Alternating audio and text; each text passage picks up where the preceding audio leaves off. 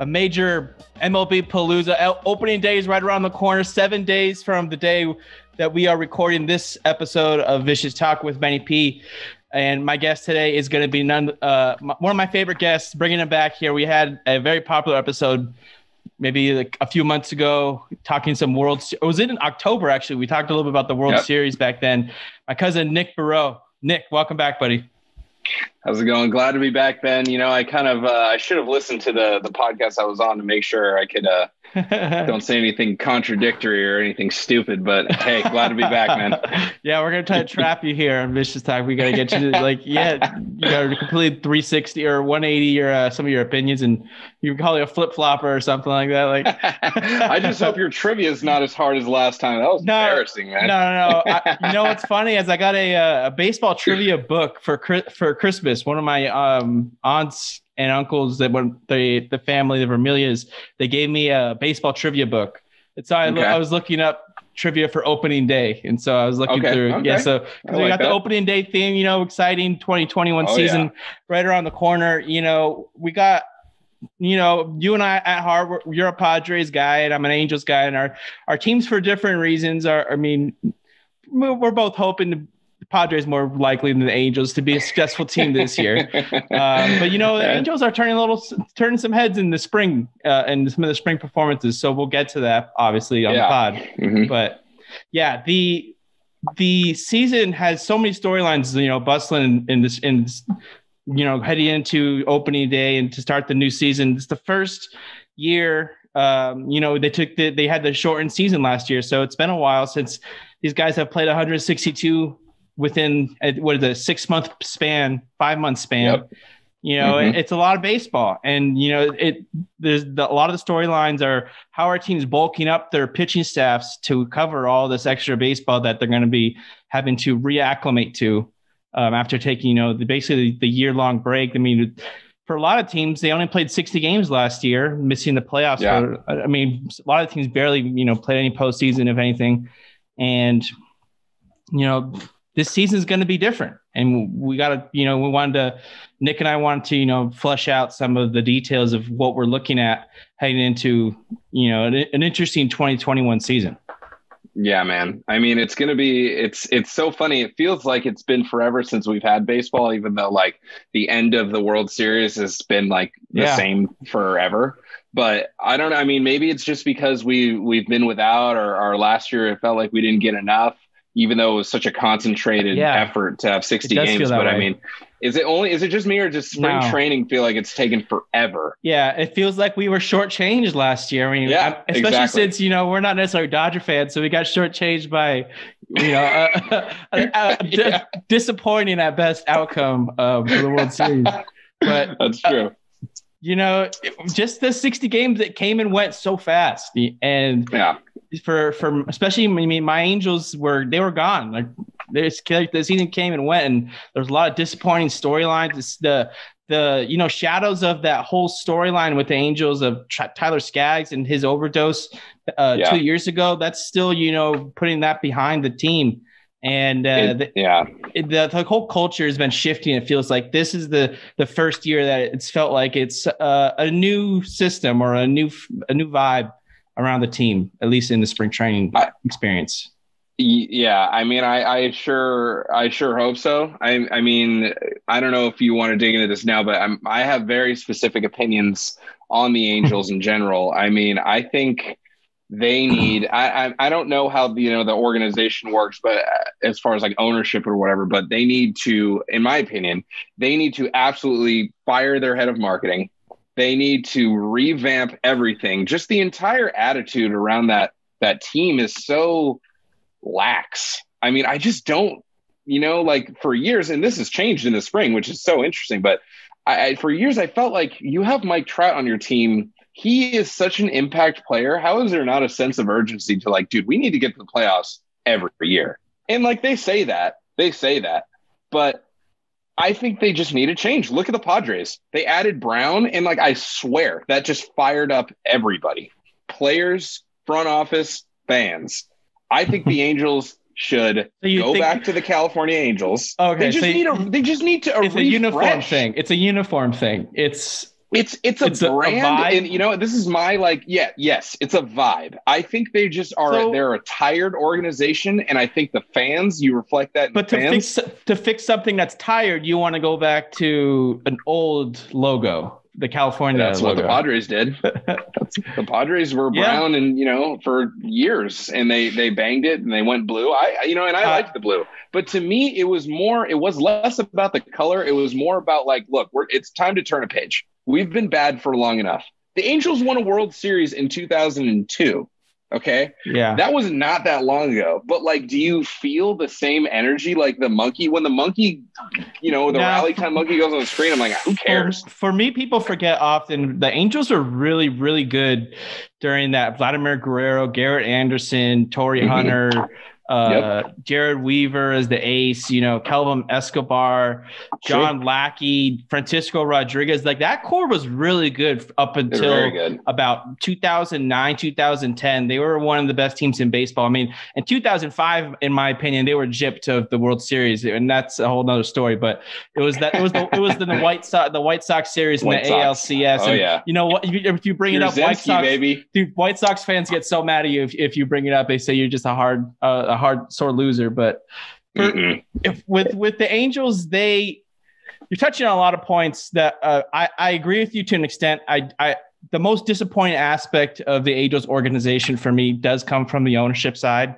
They have a very uh, confusing top down approach with the way that they run the organization and, and but what i mean is it seems like a lot of the worst aspects of the team are the ones that come straight down from the top with Arte Moreno as Okay, as yeah. as the as the owner. I mean, you look at some of the poor the poor signings that really ha- handicap this team's ability and flexibility to succeed over the last five or six years that you're talking about, where they struggled because they had all these really bad contracts and really bad Yeah. decisions that they made in the early decade uh, from about 2011 to 2013 and maybe 2014 and so they were making a lot of poor decisions in the front office Yeah. and they were Yeah. a lot of the you know the the unfortunate benefits of a lot of those decisions during these years that you're talking about and I, I think that we're finally starting to see a little bit of a shift in that but my point with Arte Moreno was that he got involved with you know some of the really poor signings like i mean he was involved to an extent with Pujols but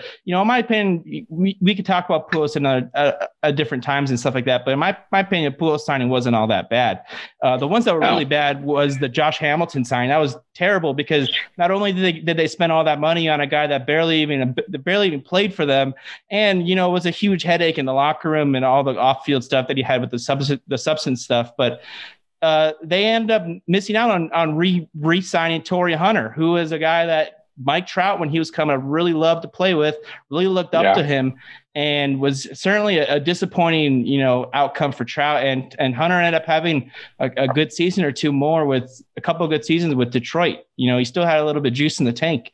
And they could have had. I would have taken those Hunter years over the Josh Hamilton experience any day.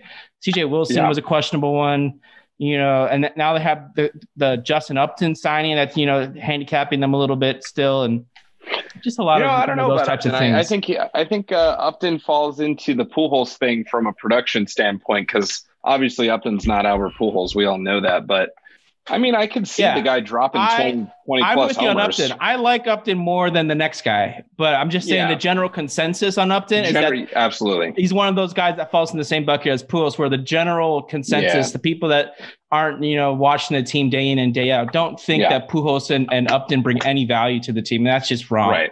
Right. no, Um, I- no, I, you're absolutely right. And uh, I, I think it's funny because you look back and and I try to think off the top of my head, like what are the some of the better you know moves that organization has made.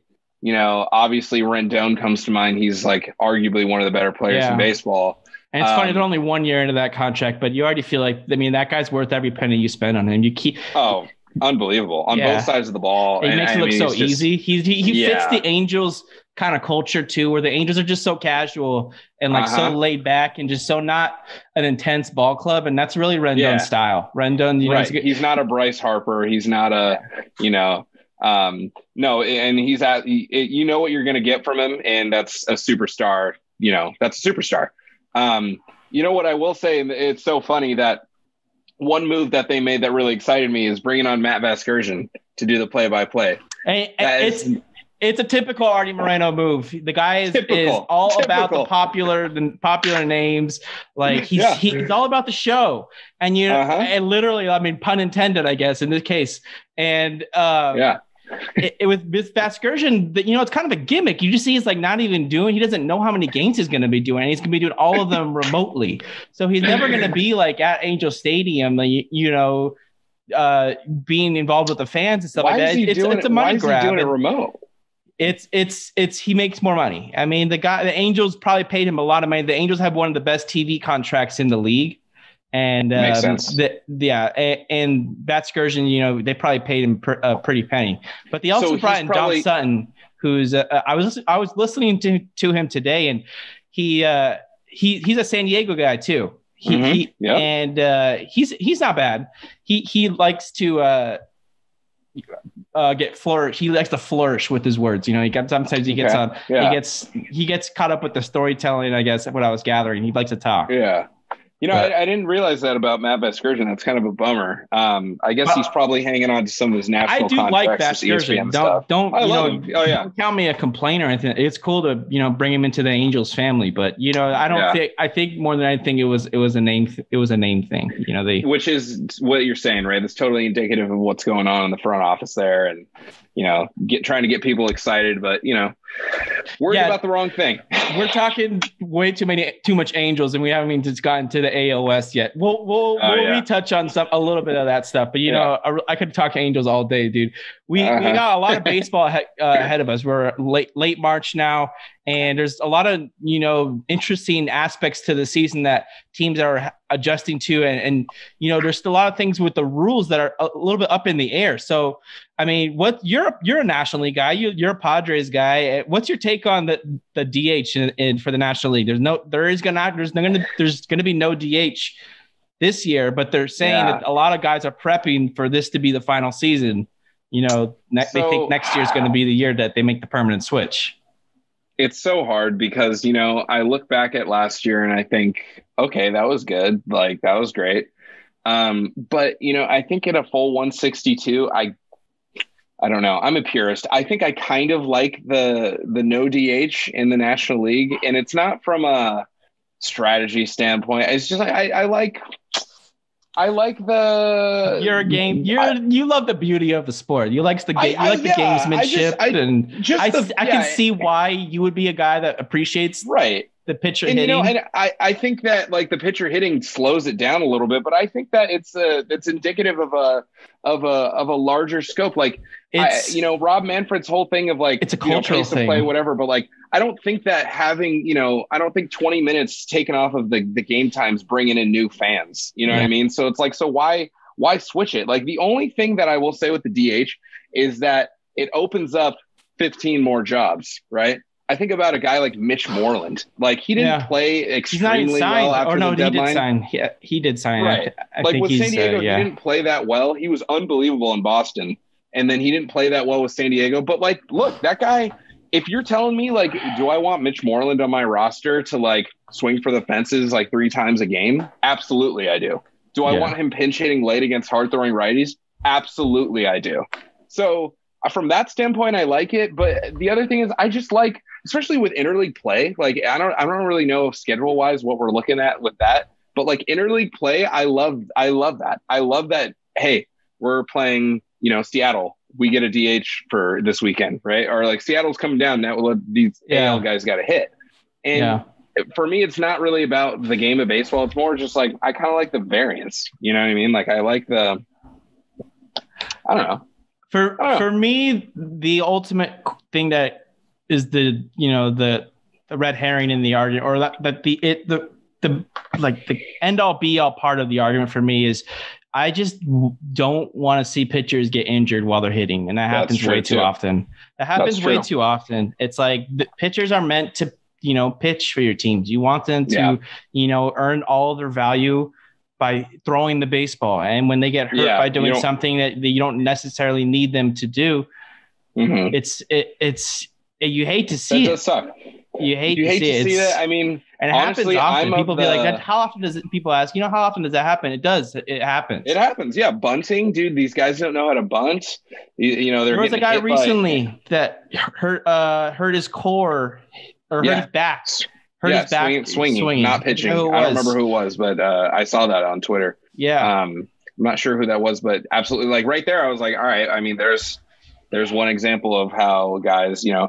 I, so I'll say that, but I'll raise you this: um, Madison Bumgarner in his prime, that dude raked. yeah. Didn't he hit like eight? One of my or favorite- something? You know, we're talking about opening day. Opening day. One of my favorite opening day moments. I went to a D-backs Giants game, and Bumgarner was starting for the Giants. Opening day, he hit two. He hit two dingers in AZ. Dude, Remember that, he hit some bombs. dude. That, That guy was- that was a- swings that was- hard. That was a cool opening day moment. Definitely. Yeah, I definitely don't like Madison Bumgarner, but No. respect. I mean, good swing, good swing Yeah. on the right side. I mean, 2-0, that guy, you got to be careful, you know? And like, I respect that. But I think overall, the we're heading towards the DH. I don't know if I'm like stoked about it, but I think that's where it's going to head. Um, But either look, way, I mean, if MadBum's pitching, you don't have to use the DH. You can Yeah. elect to, you know, not use it. that's so- true. That's fair. Uh, what about like Jacob DeGrom? Good hitter, decent Yeah. hitter for the nine hole. Like, I don't know, you know, sometimes maybe you have to, or I, I'm With- not sure. I mean, But Shohei Ohtani, you got him batting leadoff. Well, hit- right, I mean, pitching. we're gonna but- talk. We're gonna talk about him because my yeah, God, that was incredible. That was the first time anybody had done that in a big league game or a professional game since I think they said 1901 that someone had batted Jeez. leadoff and started pitched. And it, the guy he did not do good. flies. By the way, Yeah, he's very fast, dude. Um, what some major trends that I want to talk about um, heading into this season with a lot of the individual players? There's a lot of a lot of cases where p- guys are falling into one of two categories, and those two categories are one. They used the pandemic impacted season in 2020 to take time off, one or get healthy. You mean, to, maybe they only played the 60 games, or maybe they played a, only a small percentage of those 60 games, or they, you know, elected to take the whole season off. A lot of guys are are in that boat, and they took time off to get healthy, get their bodies right, and we're seeing a lot of Mhm. guys, you know, coming into camp with the mindset, you know, I'm a different person, I'm a different player now. I got my body right. I'm ready for a, a full season. I'm I'm ready to go. It's kind of like the reset button. This is the reset button guys. I, I think it's a case by case basis, but I think generally Yeah. you and I side, you and I side with the, you know, you are who you are at this point in your career. Um, not this is the big leagues, man. Yeah. like you, nobody. This isn't this isn't college, right? You're not finding your swing. Like these guys got to the big leagues for one reason. Obviously, it's a game of adjustments, but you know. Uh, people talk about Dodgers fans. You know, I've heard Dodgers fans talk about, oh, well, just wait till David Price gets out there. And like for me, I'm like, David Price is the David Price I know, right? Like he's not getting any younger. He's I don't Yeah. know, dude. I kind of like David Price. He he, he actually like he, David Price. he was good for the Red afraid of him. Sox in 2018, and he was good in his in uh, the amount of games that he did pitch in 2019. He got hurt that year, um, and then he missed the whole 2020 season with the you know he sat out 'cause baseball is a baseball and this ties in exactly to what you're saying baseball is a what have you done for me lately type game Yeah. you know who said that lots of people have said that but i heard Khalil Greene say it so that's what i'm going to give him give him a quote to yeah, my boy yeah. but like I really you. i mean what have you done for me lately like i, I for me a lot of those guys got to like prove a- it. You know, they yeah, got to prove I, it. I mean if it's a family thing i understand like you got a family you got to play things safe that i totally respect that but for me like i if i'm a player i am not missing out on 60 games or whatever if they were playing five games i'll be there for all five because that's the type of game it is man. I mean we we we can talk about Wally Pipp that story. You know the Wally Pipp story. I mean you, you know you hear about players coming in and, and making an impact and then the guy that they they spot they never play again right? Like Yeah. look at Randy Arozarena. Like you think that guy is would consider taking time off? Like no. Like that guy he's got something Uh, to prove in an organization like the rays like absolutely he's capitalizing on that so i, I you think know Randy. You know Randy's doing that. You gotta. know him. you gotta respect randy man Yeah, don't don't you put don't you badmouth Randy's name. He's you know he's gonna be playing all, all five of his games. At five out of five games, he'll play a ball. five out of five baby yeah Dude, so I, that's one. That's one type of player we're seeing coming into the year. The yep. guys that you know they took the the time off to try to get healthy, and we'll see how those people do. But there's also a lot of guys that had unusually down years last year. A lot of uh, yeah. with considering the the weird circumstances with the pandemic impacted year, a lot of players are looking to have bounce back seasons in 2021. A lot of you know guys who we expect to ha- to be some of this game's best players we're talking yeah. about the Christian Yeliches, the Javier Baez's, Kris Bryant's. There's a lot of these guys that had poor years last year, and um, they're looking. Uh, Jose Altuve's. You know, the, a lot of these mm-hmm. guys. The shortened year was whatever for whatever reason. It, it just didn't vibe with their style of play. They either were pressing. Yeah. I know um, I did a lot. Uh, a decent amount of reading up on Ketel Marte coming to this season for the Diamondbacks.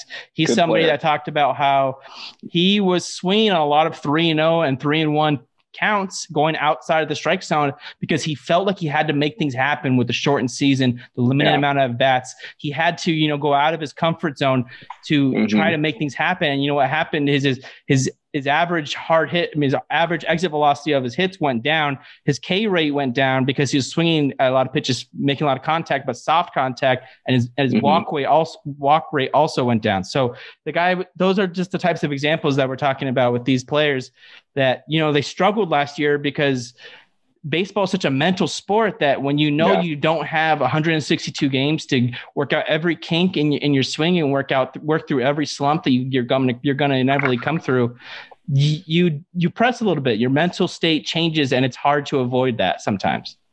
Yeah no i completely agree. It's it's it's crazy. I mean the you know mistakes are magnified in a sh- smaller sample size for sure. Mm-hmm um, I mean, uh, you you mentioned you mentioned Yelich. I think he's a perfect example. You like you look at Yelich's you know days in Miami. You know, certainly a good player, right? Like a very exciting player, and you think he's going to break out. But the guy's an MVP, right? The guy's an MVP candidate yeah. every year. You might think when he gets to Milwaukee, and for him to have this kind of tough year. I mean, people ask. I've talked to people. They go, "Oh, is Yelich a question mark?" And like no, I don't think Yelich is a question mark. Right. I think he's going to hit 300. That seems to be the general consensus. Homers. But what if, what if Yelich, what if Yelich just started to decline starting last year? That's true. That's true. I mean, that's yeah, a, if, that's if, a worry. That's a legitimate worry for a lot of these guys. You know, yeah, was last year well, the start of something worrisome? Right. Or or you could look at it this way: Is the damage has the damage been done? I mean, there are Mental, you what if, yeah, yeah. What if he lost his confidence? Mental, Right, and that if you lose your confidence, you're done. Yeah, you can't play in the big leagues without Yelich that changed, made some changes to his swing mid-season last Absolutely. year. He was yeah. he he used to get really low in his in his stance, get wide, and really anchor with his bottom half and drive off that. And it wasn't working for him, and he started to stand up taller, and he he, mm-hmm. he you know lost a little bit of that crouch and athleticism that you get from being down low. I I, yeah. I think he's somewhere in the middle from what I've seen in, in the limited the limited film that I've seen of him this yeah. spring. I think he's somewhere in between the you know the crouch stance and the upright. But um, speaking of uh, speaking of different stances, Cody Bellinger. Yeah. Cody Bellinger's opened up. He's he's made a change. Well, having um, 162 I'm, games might be a reason why people are some of these guys are willing to experiment with this because they know they have right. some time to work through it. So yeah, I mean, we've seen theme. it time and time again. Like we see superstars that start slow, that start slow, and then you look at their stat line at the end of the year, they're right there where you expect, right? I mean, and, and then, but then, and then it's funny because you got to consider other guys. Like you look at Anthony Rendon. Rendon started slow in a 60 game season, and look at his stat line at the end. The guy was right there. So mm. it, it's totally crazy. And, you know, it's about these different kind of personalities and these different kinds of, uh, you know, mental uh, the mental aspect of the game, like you're talking about, is it affects guys differently. So it'll be it'll be Definitely. interesting to see, you know, how it affects it. Definitely, I think one of the biggest storylines for the spring training as well is how great Francisco Lindor has looked for the New York mm. Mets. The Mets are a team that uh, they get overshadowed a little bit by the New York Yankees because they're obviously in the same city, or you know, right. New York New Yorkers will say Flushing and Queens are very different, but essentially the same city. And um, Francisco Lindor looks great for New York. He he's put been putting up great stats. He's hit. I think he hit another bomb today. He's got five homers. I think on this wow. uh, the spring you know season, and he looks like he's in great shape. He posts yeah. a lot on Instagram. You know, he fits the New York's culture, and he looks mm-hmm. like it looks like the Mets really nailed someone that they've been dreaming about you know, yeah, making their their franchise around. And now they have Lindor and Degrom, and that's two of the best, most valuable eight players in the sport. At you know, Absolutely. probably. And Yeah. the Mets got something, and you know they're going to be a team that, that a lot of people are picking in, in their preseason picks to uh, win the NL East, and it, they're, they're going to have a lot of eyes on them, to say the least. And we'll see if they Yeah. live up to the hype. Yeah, no, I mean, I, I think you, you know, you always have to take spring training stuff with a grain of salt. Mhm. But in this case, I think you have to pay attention to Lindor. I mean, in my opinion, in the last year, Lindor has been a guy that some questions have been raised with. You know, I mean, he started so hot and he's, you know, popped from both sides of the plate.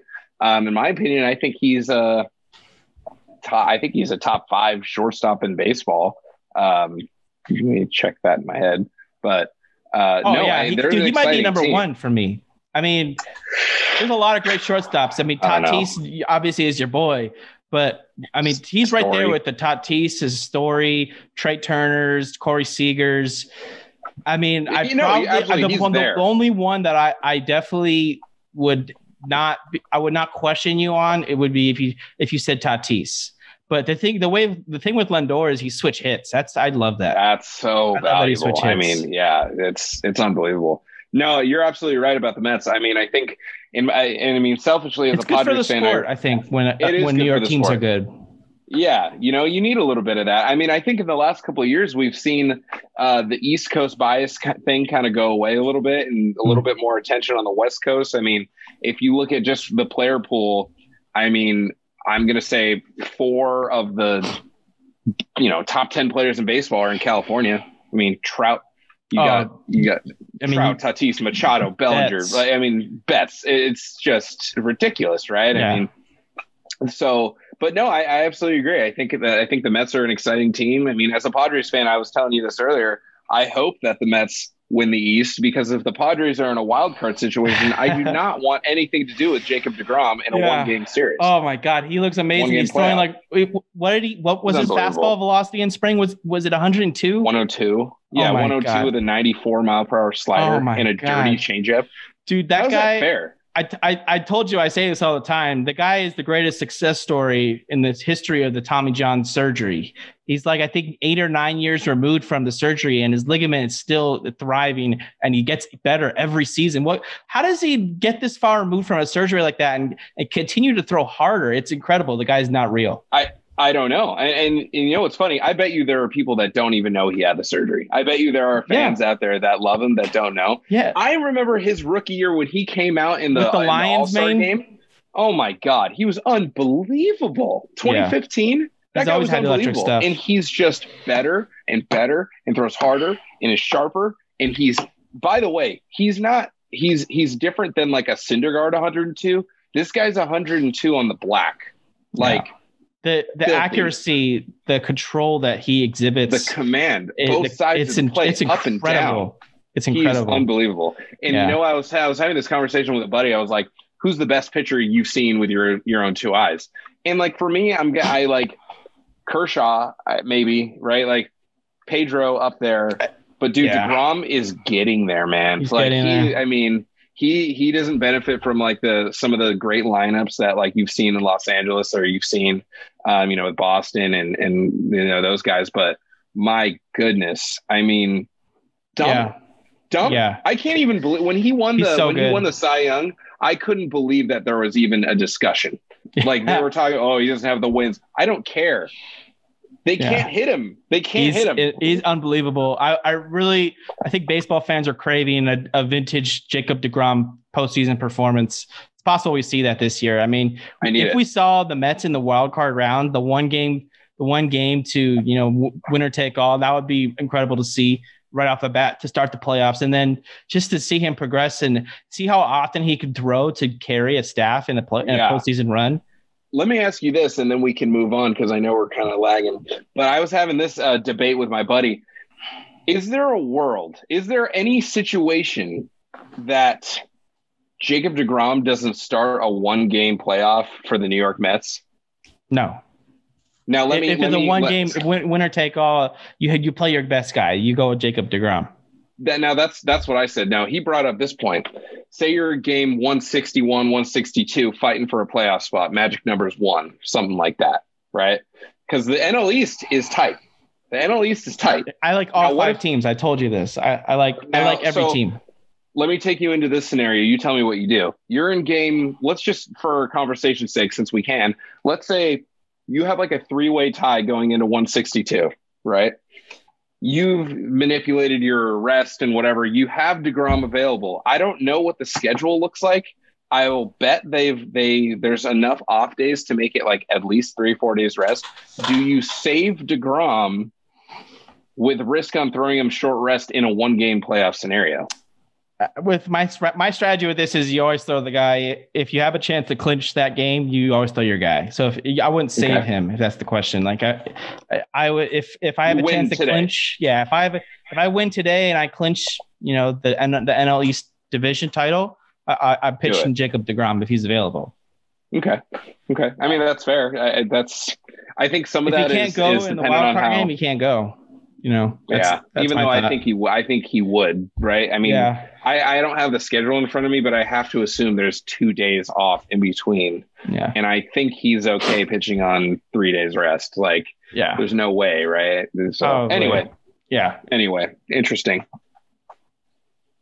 Nick, have you uh, been watching any of the spring training games? Have you have you seen anybody that you that you know stuck out to you so far in, in some games that you've you've seen?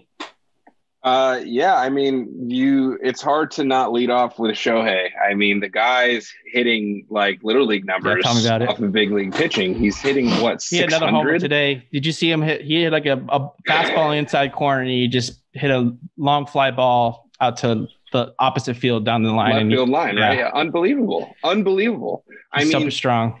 If he's the real deal, which it looks like he is, you have to start having the AL MVP conversation. And we've talked about this separately. And I don't know if you want to save this to the end. Yeah, but, we'll go over the MVP odds at the end. But he's he's a guy that he's his odds are very intriguing from where he sits yeah. in the AL, AL MVP conversation. You know who else I like is Joc Pederson. I mean, I've always been a Joc Pederson guy. I think he has a role. Yeah. Um, I think his role to just go up there and swing the bat, I, I do like that. Um, with Pederson, I think I yeah, I think he's got like five home runs or six home runs already on spring. With me, with me, the big thing that I've seen with him this spring is he changed his batting stance a little bit. He's yeah. more athletic. He's he's mm-hmm. standing more on the balls of his feet and he's kind of leaning out towards more of the play a little bit and he's just ready. He's more balanced. Yeah. he's able he's able to drive the ball the opposite way a lot better instead of because you know with the Dodgers he was very relaxed. He would sit back on his heels, you know, really mm-hmm. feel like really loose, and that was what he clearly was thinking. He wanted to be really really loose and then you know attack when the ball came as yeah. He would he was no holding back. He would swing as hard as he could, but the yeah. way he's hitting now, it's a little bit more like Ben Zobrist style where you, okay, yeah. he's a little bit more balanced. He's driving the ball the opposite way. Maybe he loses a little bit of the power, but he's so strong it doesn't really matter. Yeah. So, it's also it's also I think he I think that move cuts down on the chasing a little bit because he was so so susceptible to like a 2-0 changeup or something like that, you know. And like mm-hmm. I think the ability to be more athletic through the swing is is something that's going to help him from a strikeout standpoint, and that's totally plagued him his entire career. Is you know they always talking about the strikeouts, and like I don't care, but yeah. it is a factor. It is yeah. a thing. He's looked good this spring. I think it's legit. I think he he they were thinking originally. I believe they were going to play him in a in a platoon with Jake Marisnick, and Marisnick's looked great in the spring exposure that he's been getting. But uh, Joc Pederson, if he's playing, if he's going to play like this, he's going to get the everyday job in left field. He's playing really well. Um, yeah, one guy that had a lot of hype coming up, and you know he might be getting a little bit of you know some steam, you know, regathering here behind him is Vladimir Guerrero Jr.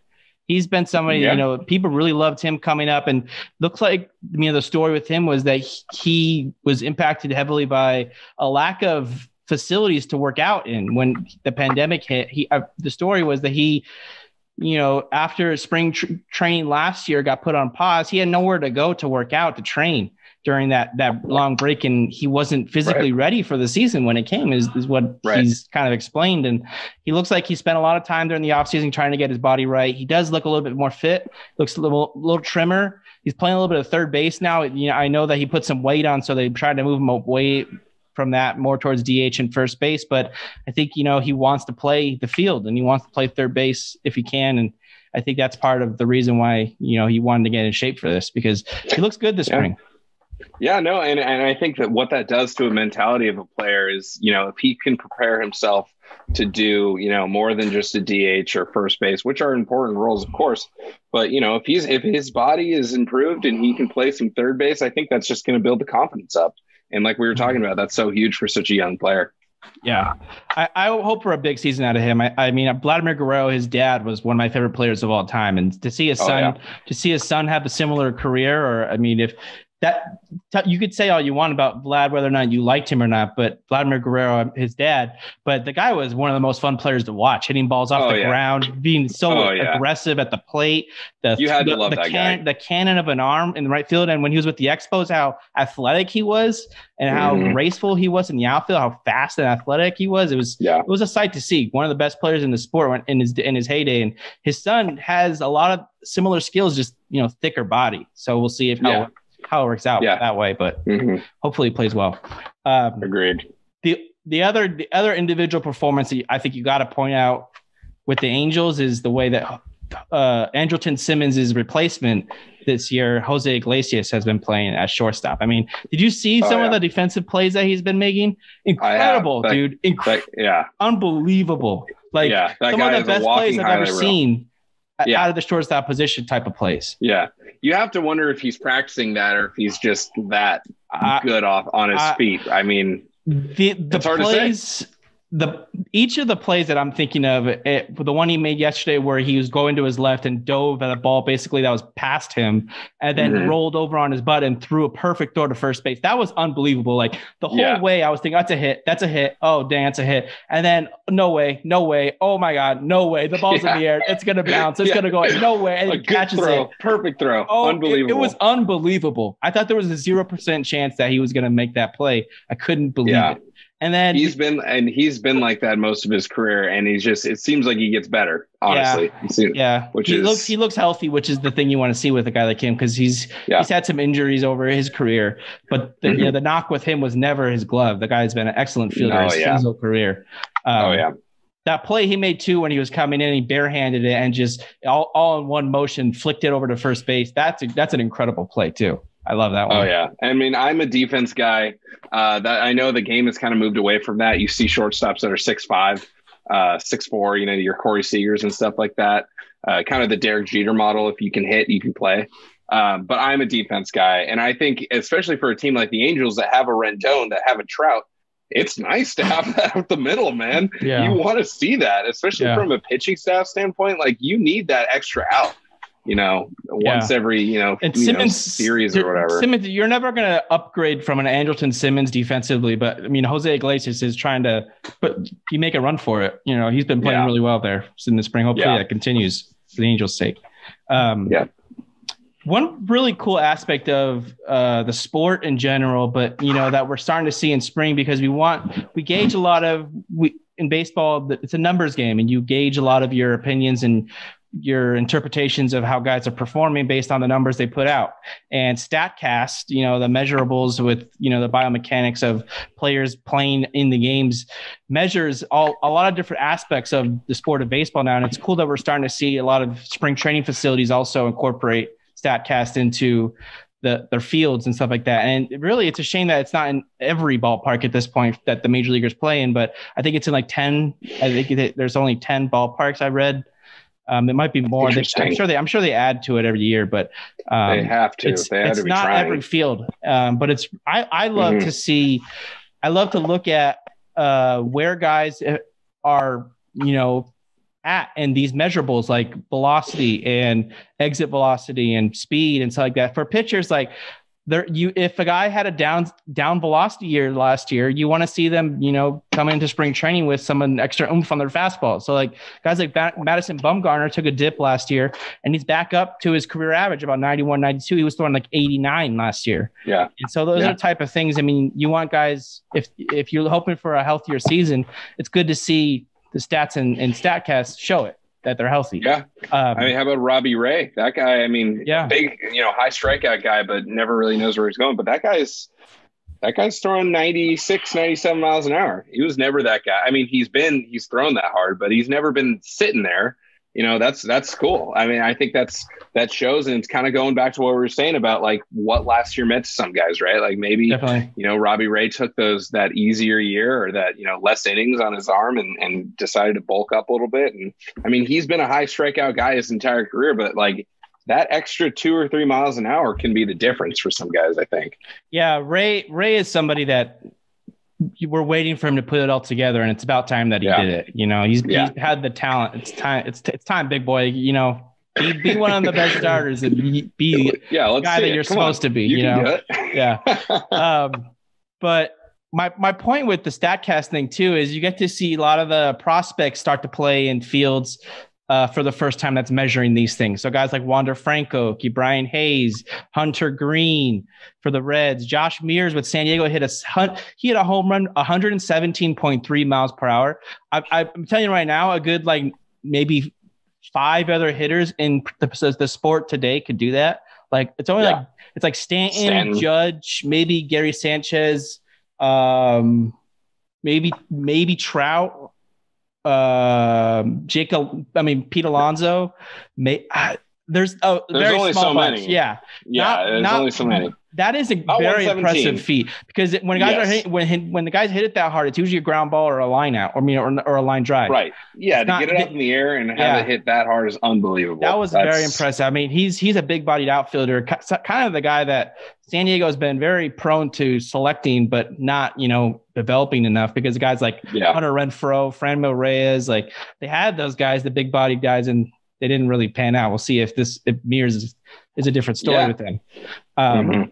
But we're seeing. My point is, we're seeing a lot of these, you know, young players for the first time show off, show their stuff off. You know, start to see how fast guys are throwing, how how hard they're hitting it. Guys like Bobby Witt Jr. for the Royals hit a couple bombs with the Royals in, in spring. Those are those are really impressive too. Bobby Dalbec for the Red Sox, he's been a guy that a young prospect who's been you know crushing the ball for the Red Sox this spring.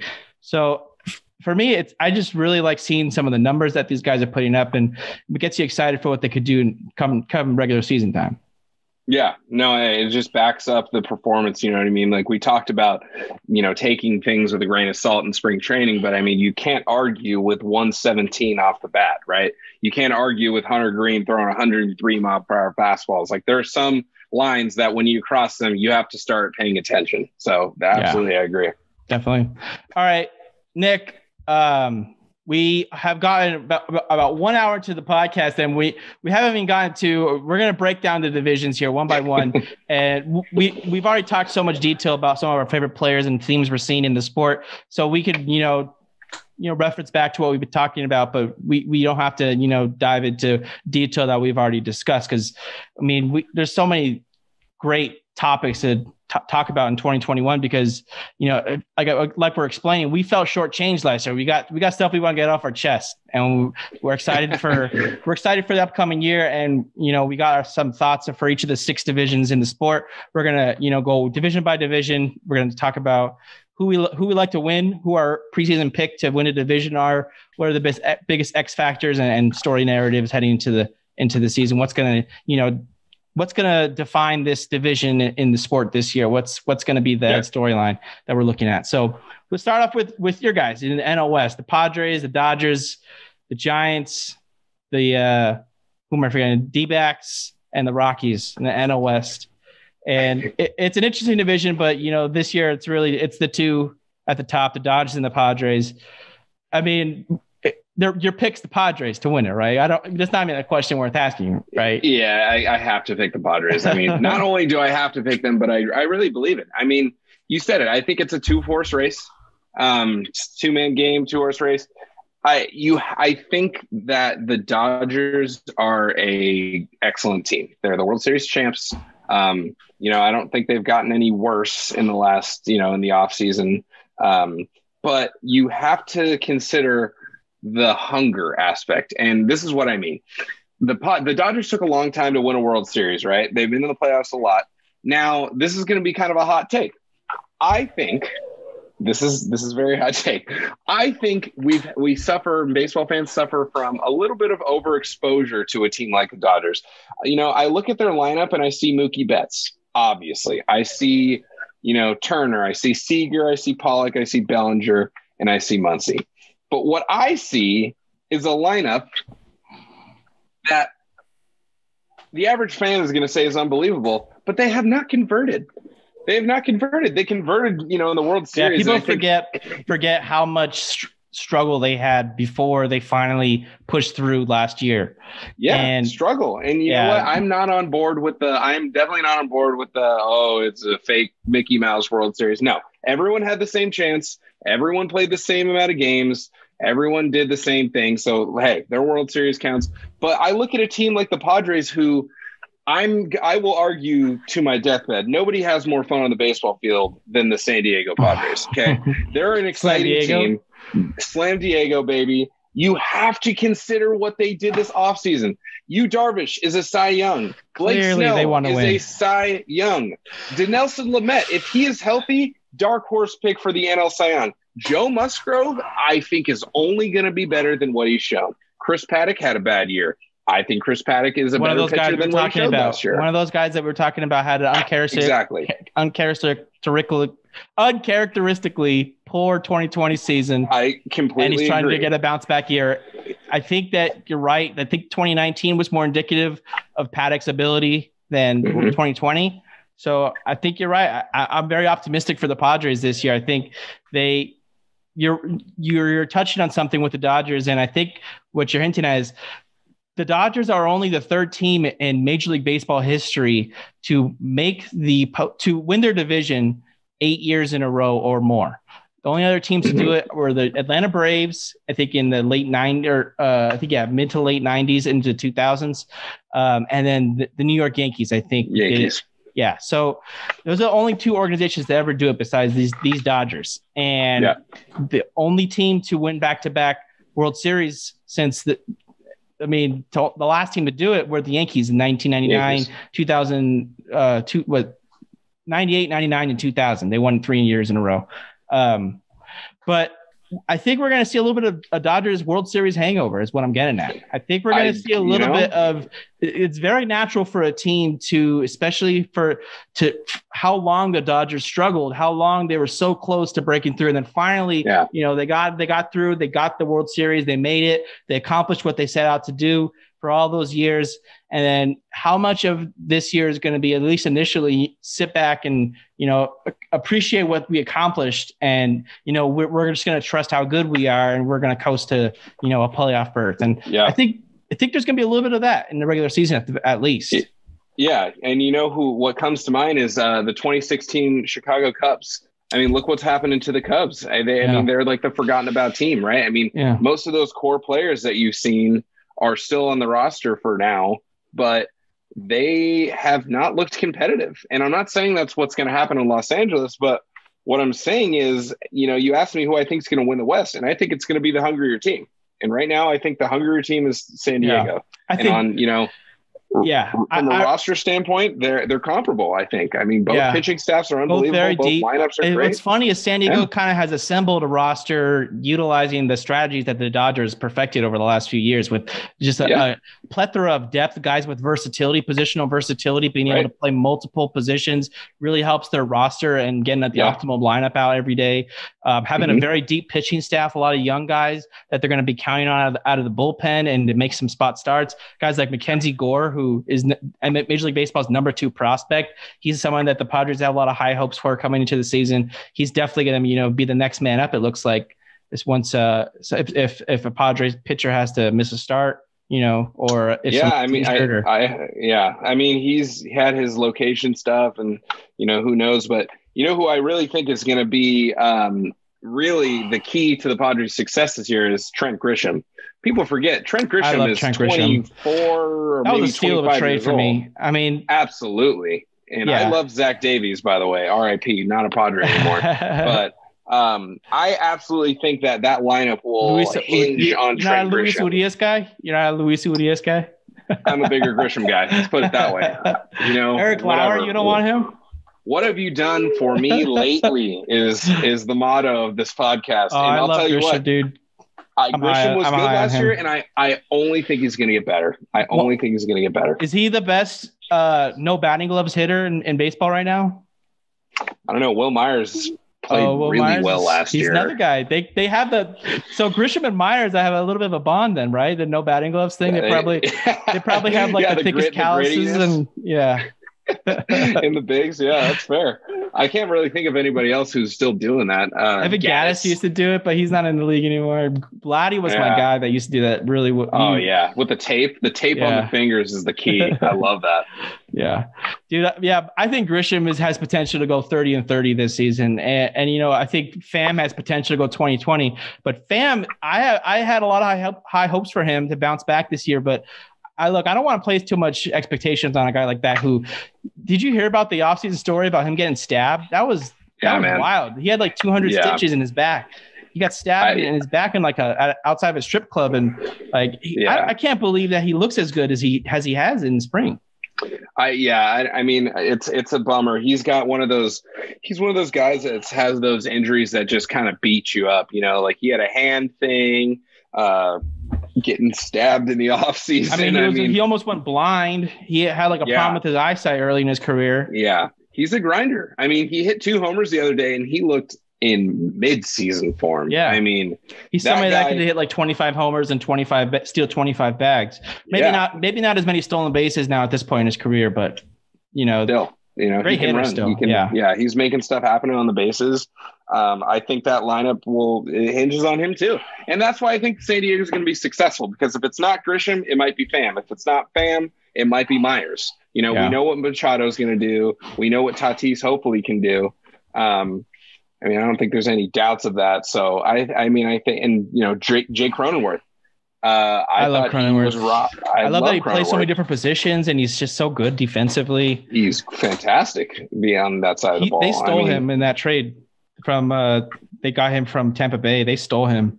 Yeah, great hitter. I mean, he's he is. Uh, I mean, he had 285 last year with you know like 20 plus RBIs, I believe. I mean, I think I think he's a mature hitter. That's what I saw from him last year. Is that he's patient at the plate and sees pitches, and he's not going to get he's not going to beat himself. So he's a switch hitter too, that's huge. isn't he? Or yeah, I think no, he no, is. he's no? left-handed. Left-handed, he's lefty, not okay. a switch, lefty. For me, um, it's going to come down to whether or not this Dodgers lineup suffers any hangover. Um, yeah, I mean, for I for me, I don't. I, I know Bellinger's talking about the story with him changing his swing. I don't want to see my perennial MVP candidate, you know, changing his swing drastically, you know, before the season starts. That's just me. But yeah. you know, I, I, do love Mookie Betts. I think Corey Seager is an underappreciated player. I think Seager is a legit NL MVP candidate. That that guy, what he did in the postseason, that's not a fluke. That guy's legit. He's he's potentially the Dodgers' best player. He's that good. Um, he's, he's, fantastic, and, he, and he's in the contract seasons. He's he's set to be a free agent um, currently, I mean, his contract's going to be up at the end of the season if he doesn't sign an extension. So he's somebody right. that's going to be ultra motivated to have a big year. I, I, if I if I had to bet on any, if I had to, you know, make a pick for anybody that I think on the Dodgers going to for sure have a good season, it's it's Corey Seager. I think he's going to be their guy. Um, but a lot yeah. of the ter- a lot of the tertiary players are going to have to step up for the Dodgers. They lost a lot of the like the the, the depth pieces like Joc Pederson and Kike Hernandez. Kike there's going to be, you know, they're going to place a lot of responsibilities on like the AJ Pollocks, who is an injury guy. Max Muncy had a down season last year.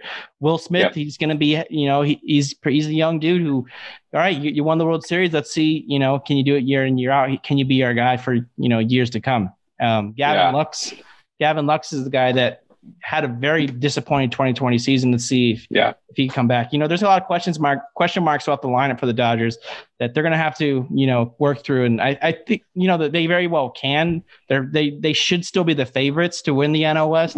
If you just look at the roster and you give the, the, the give them the benefit of the doubt for winning the World Series last season, obviously.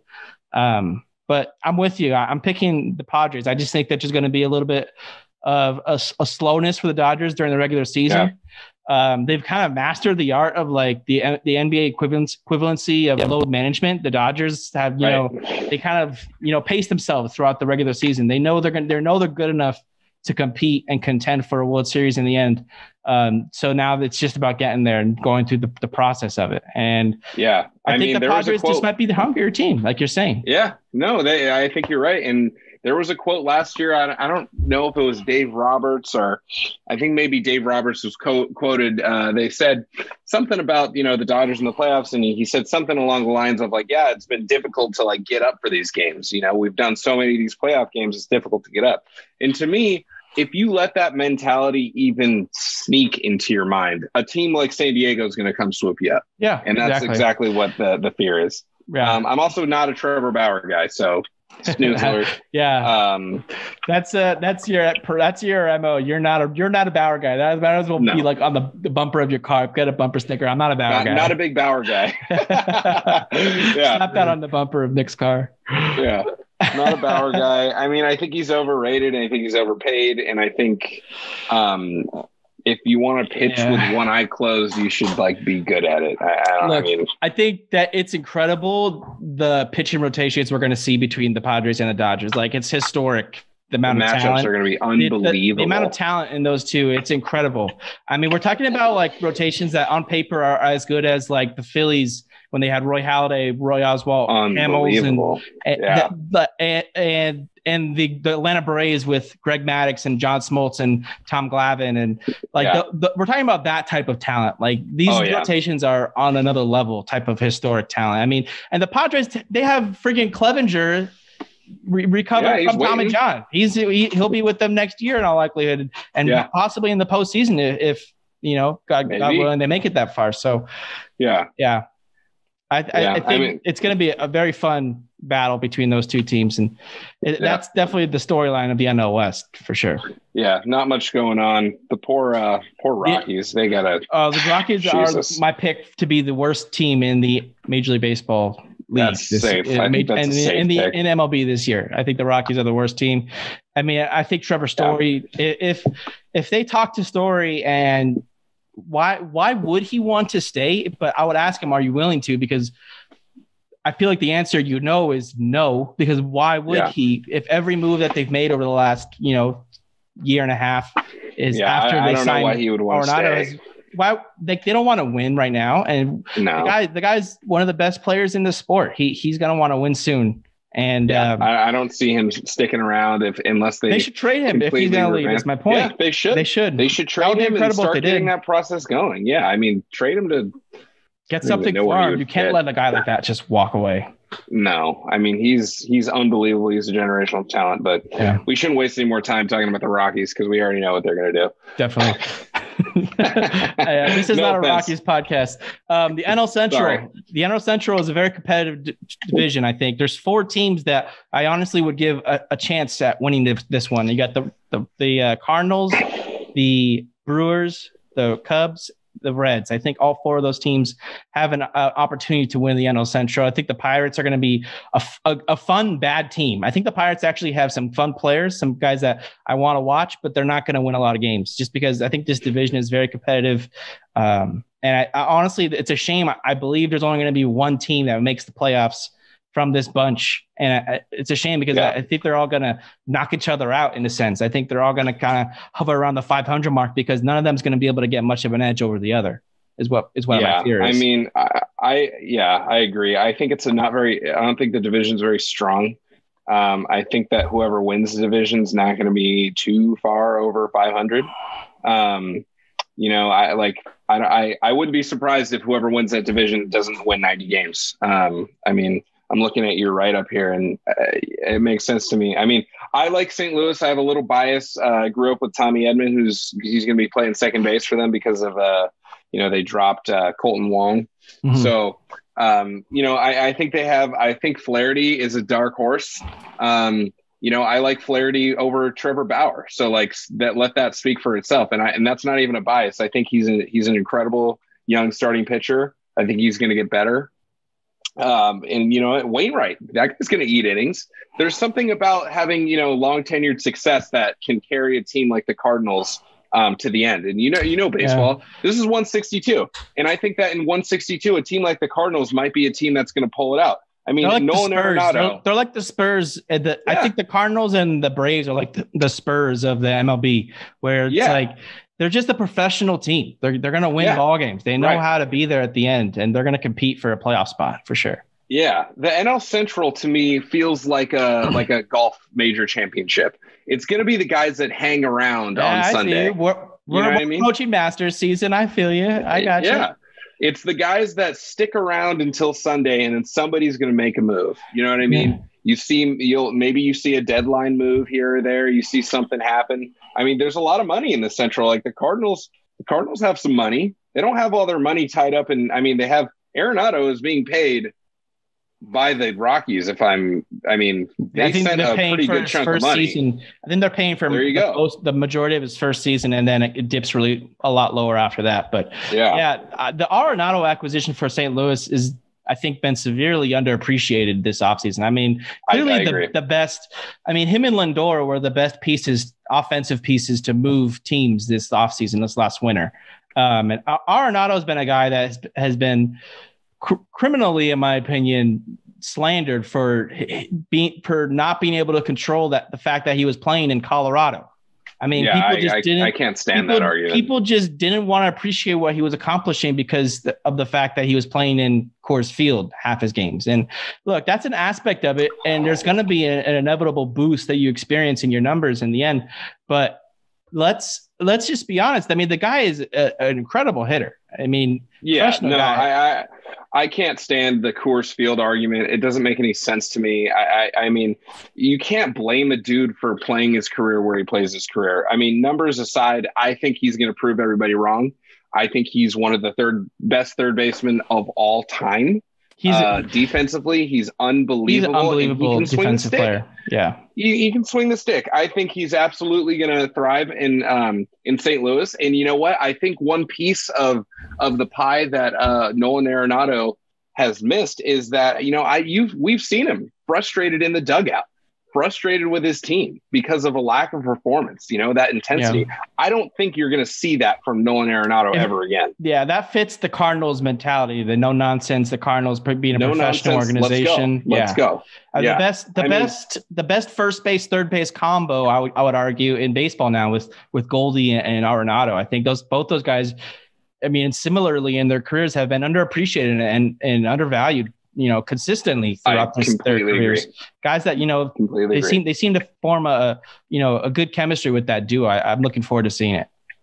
Yeah, no, I, I think they're they're an exciting team. Uh, I think that they're gonna they'll thrive, and and you know what? And we talked about the Cubs a little bit, but I, I think the Cubs are yeah, I think the Cubs are in trouble. I mean, I think they have starting starting pitching um, issues, maybe not issues, but I don't, I don't think they have what it's gonna take, and I think their their lineup is a little tired. I mean, Rizzo has not shown me like best first baseman in baseball stuff in a little while. Um, Kris Bryant has not been the MVP we saw in 2016.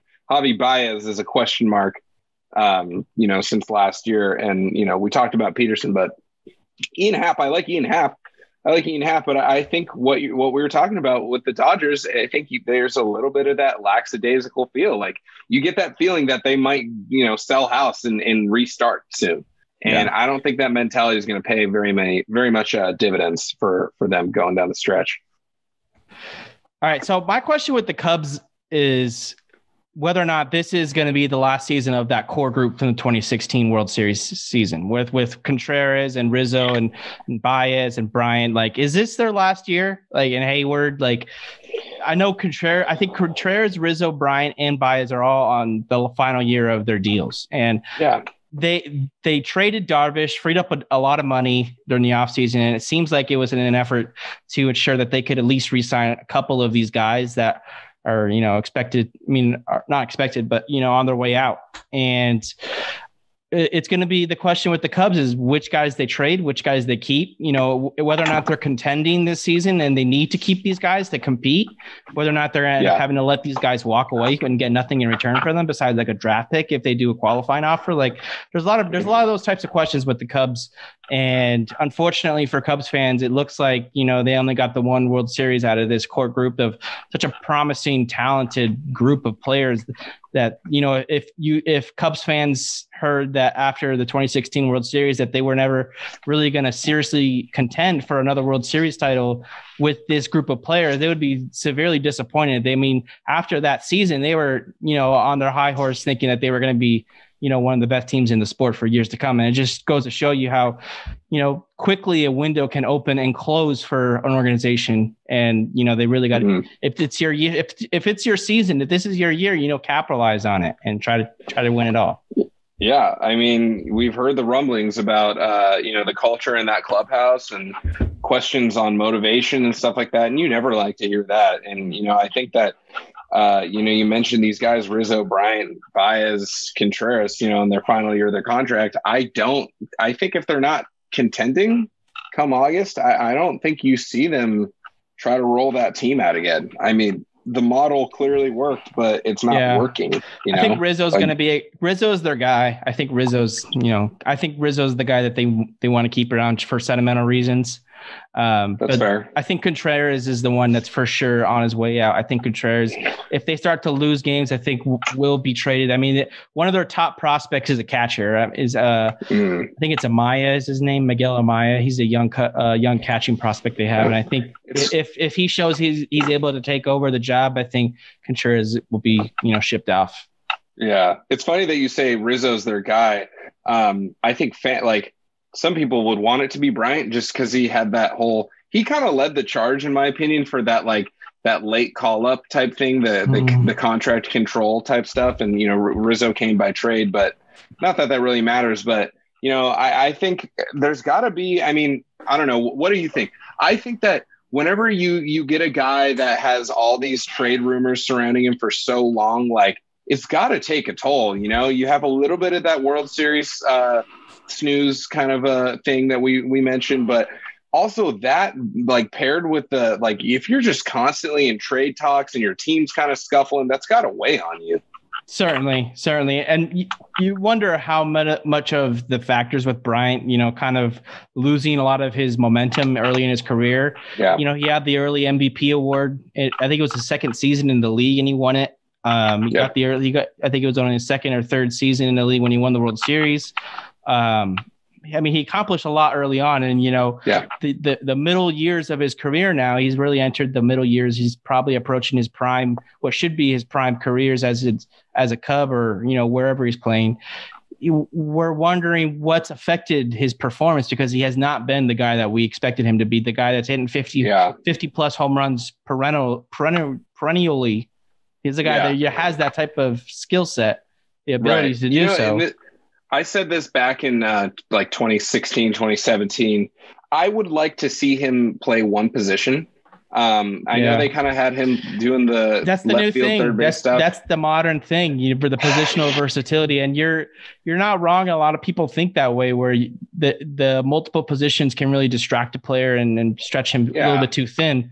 And you know, especially you, at the superstar level. I think, every, you know I, I mean? think every player is different, and I think maybe you're yeah, right. Maybe true. maybe you're right with Bryant. Maybe Bryant is one of those guys that you know suffered a little bit because he stretched himself a little bit too thin on some of that stuff. Yeah, and you know, I think there's something to be said for players that make a career out of one position, right? Like, I mean, the Derek mm, Jeter's a just perfect being example, so good right? at like, one thing that you can't get yeah. removed from it. You're the best at or, it, so there's no point in there's no yeah, point in putting somebody even, else. Not yeah. even not even from a talent standpoint, just from a routine standpoint. I mean, you look at the last couple of years of Derek Jeter's career. That guy was not the best shortstop on the Yankees roster, right? But like, are are you seriously going to roll out Jeter at first base or like left field? Yeah. Like they DH them sometimes, and that's the no advantage way. of the American League. But I think that if Kris Bryant knew for you know from his MVP season until you know now or, or, future, if he was playing every single game at third base or maybe DHing on one of those road trips on to an AL ballpark, I think that takes a little bit of burden off the guy. Or, or you know, I don't think every player is meant to do that. You know, I don't think every player is meant to go play left field for the last two innings of a game or, or yeah. something like that. Um, you know, so that's where I I'm at with the Cubs. I think there's a lot of question marks there. Um, I'm not particularly excited about them as as I am a team like the Cardinals. Um, so I guess we'll see, but the the Brewers have the possibly the highest ceiling of the bunch. I think the Brewers, if if everything goes right, if Yelich bounces back, if the Keston Hiura experiment moving to first base pans out, if you know the pitching staff is as good as it could be with Woodruff and Corbin Burnes really blossoming as an elite, you know, one-two combo at the top of their staff, like that's a potentially uh, strong uh, narrative that could you know happen around the Brewers this season. Those two guys are really good. Uh, yeah, talented outfield yeah. too. So for me, it, what's funny is though with the NL Central is you know go figure. I think that when I'm when I watch baseball this season, my favorite teams to watch in this division are going to be the two that I projected to finish fourth and fifth with the Cincinnati Reds and the Pittsburgh Pirates. I think these two teams, I don't I don't necessarily think it's going to convert to a lot of on-field success, but I like a lot of the roster that they have in place in it, both these locations. They just don't have they don't have the monetary funds to fill it out the way that I you know that you would hope they would to yeah. have a successful season. But I mean, the Pirates have Brian Hayes, who's gonna uh, he's the favorite right now for the NL MVP in in gambling circles, and they have a lot of young guys. I think Gregory Gregory Polanco was a guy that came up with a lot of hype around the, the, Pittsburgh Pirates came up with Sterling Starling Marte in hopes of you know creating a dynamic duo in the outfield for years. Pittsburgh ended up you know struggling and having to you know have a lot of roster turnover over, over throughout Polanco's career. And now he's the longest tenured Pirate, go figure. And it seems like he's only been in the league for a small handful of years. So Pittsburgh is a very fun team. I think they have a lot of guys that you know very questionable in terms of their talent and their skill set and their depth but they also have some some some guys who are going to put up some fun stats. And I think like Colin Moran is someone that a little bit underappreciated. I someone agree. He, yep. he he had a very good season last year. Their closer Richard Rodriguez is nasty. He's very good. He's a very good closing pitcher as well. Someone who, if actually he plays well this season, could get traded. Um, but the Pirates mm-hmm. are a team that, while I don't think they're going to win a ton of games, are, are going to be worth watching. They're going to have some fun storylines. No, I agree. I mean, I'm a big, I'm a big Gregory Polanco guy. Uh, always have been. Um, you know, injuries have kind of held him up a little bit, but no, you're. I think you're right. Whether it translates to on-field success or not, I mean, they're definitely exciting. I think they finally have know, a plan in place. You know, they got Ben yeah. Cherington in there a couple years ago. This is going to be his right. second year. They got the the manager. Um, what's his name? The new guy. Uh, is going to be shoot, what's his name? I don't remember his name, but I was a Clint Hurdle guy, so it's a little bummed. Uh, but, Hurdle's know. not there anymore. It's uh, nope. Der- oh Derek Shelton. It's his second year as okay. the manager yeah. for the Pittsburgh Pirates. Um, but yeah, the Pirates and the and the Reds too. The Reds were a fun team last year. I, I like. I mean, I know they really disappointed in the postseason. They didn't score a single run against the Atlanta yeah. Braves in that w- wild card round. Um, but the Reds, they lost a lot in the winter. You know, they lost Bauer, they lost their closer Iglesias. They lost a lot of a lot of good players. So I don't expect them to have a ton of success if they got worse than last year's team this year. Um, but I, I, just like some of the players they have in their offense. Like Joey Votto is a fun guy to watch, and uh, Eugenio Suarez is a criminally underappreciated slugging third baseman. Who he might move the shortstop, and if he does, that's a big question mark for the Reds because it frees up a lot of the roster flexibility if he's able to play short. Um, and then the yeah. stock is over to third base. And so that's going to be something to monitor for them. Yeah, um, I, and I also think that's one of those teams that like you can afford to have a guy like Eugenio Suarez playing shortstop. You know what I mean? Like, I mean, obviously you want to contend, but you know you do have those factors, right? You don't you don't have your Bauer to lean on every fifth day, and mm-hmm.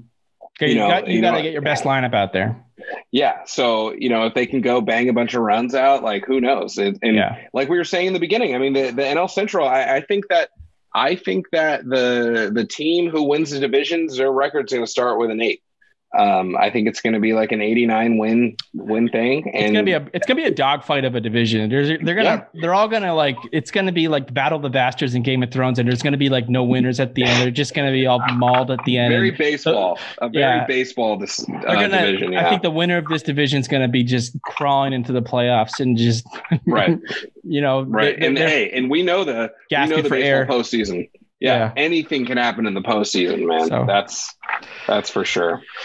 Um, all right, let's let's roll into the NL East, the last division of the uh, National League, and then we'll we'll start we'll wrap it up with the American League at the end. And um, for the NL East, this is a really fun division. Like I, I, I, was telling you earlier, I like every team in this division. I think all of them have a legitimate shot at winning the division. I think the Marlins are underappreciated. And I mean, I, I did it myself. I ranked them to finish last in, in here, but I just think that what they did last season can't be ignored. And they're only getting better as a young team. They have very young players they're going to be relying on. They relied on these guys last year. They're going to be doing it again this season. And I think that the the Marlins were just a fun team last year that is going to compete again this season. And um, I, I I think that this division is just riddled with star talent and and competitive ball clubs. And the the the starting pitchers matchups you could get with Jacob DeGrom and Max Scherzer and Stephen Strasburg and oh, and uh, now and the Marlins have a, a vicious starting staff with Sandy Alcantara and Pablo Lopez and Sixto Sanchez, who is got a changeup that's reminiscent of Pedro Martinez's. I mean, th- there's some really talented ball players in this division, and, and it only got better with the addition of Francisco Lindor, who has just completely changed the outlook of that New York Mets team. And so, like we talked about that already earlier on the podcast, and this is one of the most difficult divisions for me to predict. I think that, I mean, I didn't even talk about the Braves, who in their own right are one of the most professional ball clubs in the sport. So a team just always seems to win ball games. And They have one of the best young players yeah. and Ronald Acuna, the reigning NL MVP and Freddie Freeman. There's just a lot of talent up and down every one of these rosters. Yeah, no, I mean, they're exciting. For me, I got my eyes on uh, Washington Nationals. Um, I mean, Juan Soto is unbelievable, but let's not forget about Josh Bell. I mean, you have now compounded that lineup with two just yeah. absolute sluggers. An, off, season transaction that got glossed over way too quickly. That guy's Josh Bell could rake. Josh yeah. Bell rakes. A little unorthodox, you know, not the most conventional baseball swing, but who cares? I mean, that guy knocks the ball out of the ballpark easily. Like easily. And they added um, Kyle then, Schwarber, who's you know maybe he was a distressed asset who you know came up with a lot of hype and optimism. Like uh, yeah. uh, one of those 2016 Cubs who really impressed early on in his career, but kind of floundered over the last couple. Maybe that that was the trend yeah. that we saw with a lot of the Cubs players. Mm-hmm. Maybe they just the last couple years weren't right for a lot of them. Maybe Schwarber is going to benefit from the change of scenery.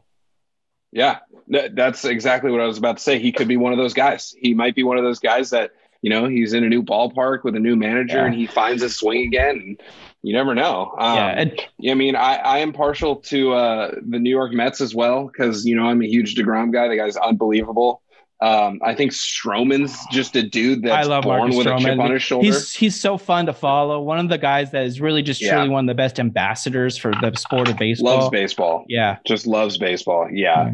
Um, I mean that lineup's dangerous. I mean I've always been a Conforto guy. Uh, McNeil's a good player. Alonso every, might have every a little player bit of a, in the Mets lineup is they're not. There's no there's no outs in that lineup. Everybody no, could hit. No. one through nine. Yeah, that Mets that Mets projected lineup. It's incredible.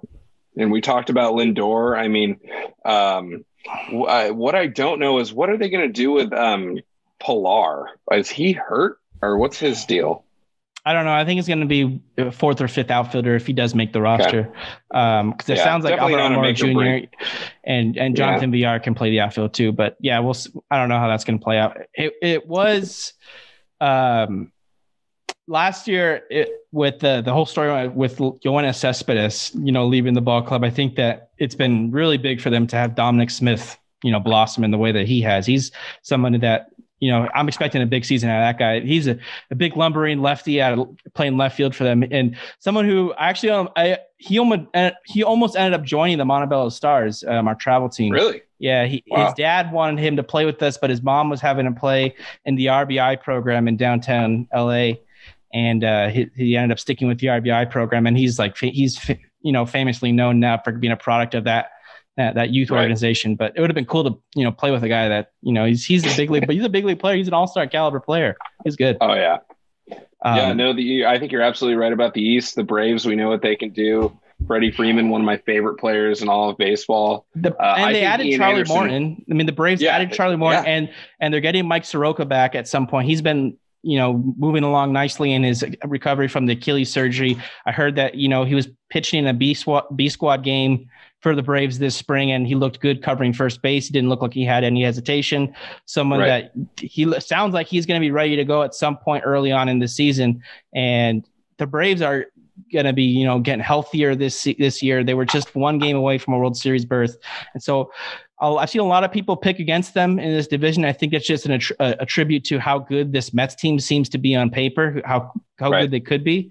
Um, but for me, it's about dethroning the Braves first. The, the Braves are the team to beat. Yeah. They have the target on their mm-hmm. back. Let's see if let's see if the the, the Mets or the Nationals or uh, the Marlins or the Phillies can you know dethrone them. I I, I want to see it to believe it because I think the Braves are a team that they they they own this division right now, and I think that you got you got to right. dethrone them.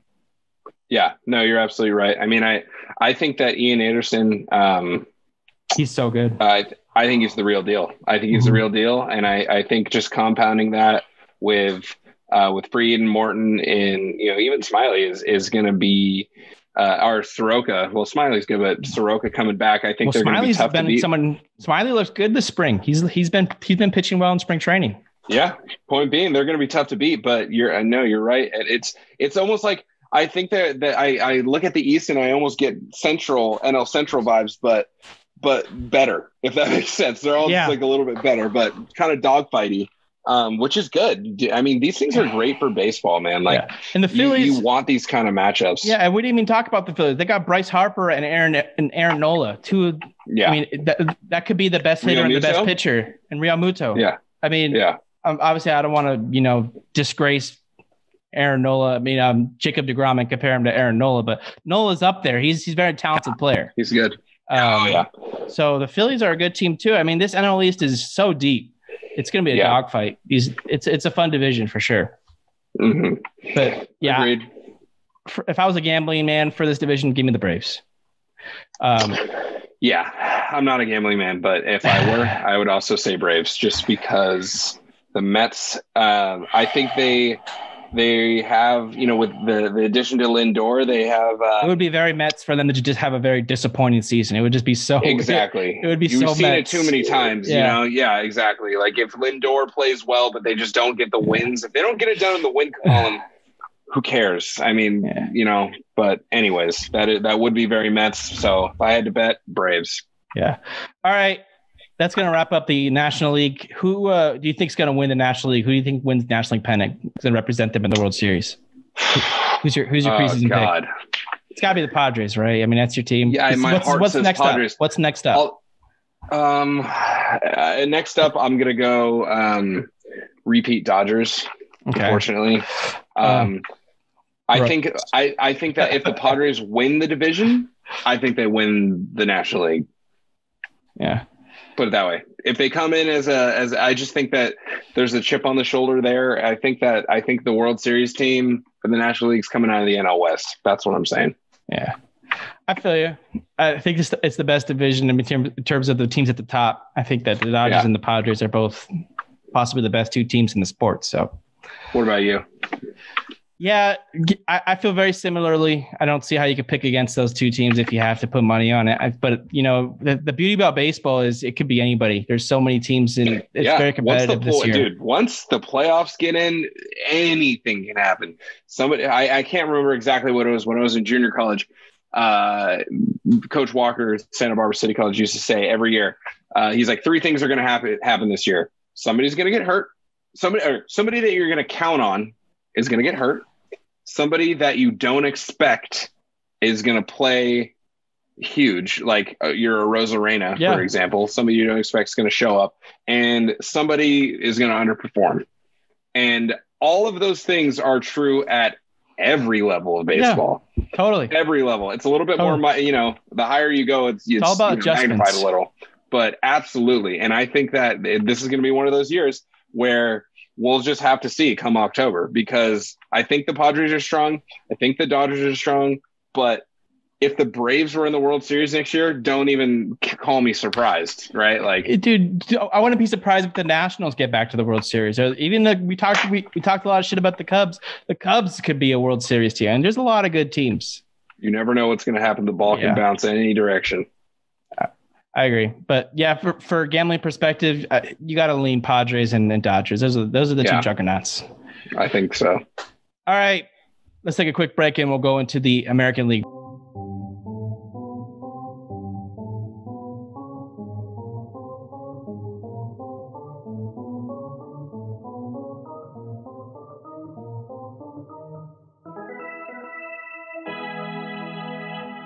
Vicious Talk with Benny P is the feature podcast of allthingsanalysis.com.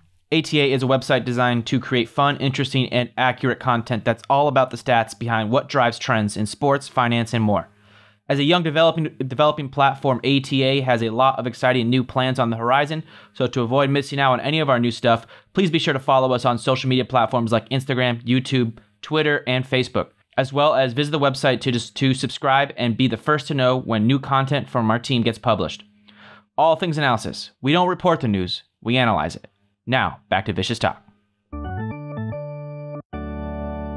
Okay, we're back for the American League now. Nic and I going over our, our divisional picks for each the West, Central, and Eastern divisions for the Major League Baseball year coming up. We're one week away. Nic, at this point in the preseason, who is going to be your selection to win the American League Western Division? We're looking at the Astros, the Angels, the Athletics, the Rangers, and the Mariners. My heart wants to say the Angels. Just speak, you know, for you and for my West Coast bias, I want to say the Angels. Um, look, I think that if Ohtani can be Ohtani, then it's difficult. It's okay. It's hard to any roster. It's hard to shape up against an Ohtani and a Trout and a Rendon. Like those are three players, and I know three guys don't make a team, but those are three superstars. Yeah, and, and if Ohtani can about- pitch and hit in the same game, it's it's very difficult for baseball fans to understand to comprehend the kind of impact one player like that would have because yeah. the ability to impact both offensively and defensively so significantly like that, the way ohtani is, is potentially capable of. Like, that's incredible. He talked about when he pitched and he started the game and he hit leadoff. He talked about how he likes it because it could help out with his confidence if he gets a hit and get himself run support as a hitter he talked about how it affects his confidence on the mound as a pitcher. And I was like, you know, I never even thought about that aspect of the two way yeah. playing experience, like the mental right. side of, you know, you you're you get a home run in the first inning or you get a double, you drive in a run, score a run or something. That kind of will roll into your your approach on the mound. You're willing to be more aggressive, and your, right. your fastball might have some more zip on it. You're just got a little bit more oomph behind your pitches, and I think that's yeah. I, that was something that I thought was super interesting in what he talked about after that experience where he had in spring yeah. training where he, he hit leadoff and you know started the game. Well, yeah, I mean that's that's it's nobody could uh can can put their mind where you know they nobody can can speak for him in that regard and you know communicate what he's feeling. But I think the other thing that we can't talk about is that that two way player, if he's elite on both sides of the ball, that's taking a lot of pressure off of the rest of the the totally. lineup or the rest totally. of the roster, right?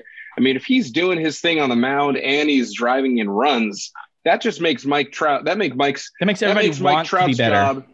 Yeah, it, I mean, it's a driving force, right? I mean, mm-hmm. it's contagious. Rendon's a superstar. Yeah. Trout is the best player in baseball. If you have Ohtani doing what he's going to do, if he can do what he's done in spring training in the regular season, then yeah. I think that they're going to be a tough team to beat because yeah. what you said it earlier in the podcast is such a mental game that like you i mean that's why i think the angels are interesting because right now you're having not one but two players that are doing things that we've never seen before and if that doesn't fire you up to win i don't know what will i mean yeah. how many times can you just say we have a mickey mantle comp hitting in our lineup every single day yeah it's not a and good then, look. and then here comes this guy who's like babe yeah. ruth comp yeah, right? it's, it's not a good look when you have a guy that talented, someone who could potentially be the face of this sport, and you know he's not playing in the biggest games that your sport has to offer. Yeah, yeah. So, I um look, I'm cautiously optimistic for this Angels team. I like what I've seen in spring training, you know, and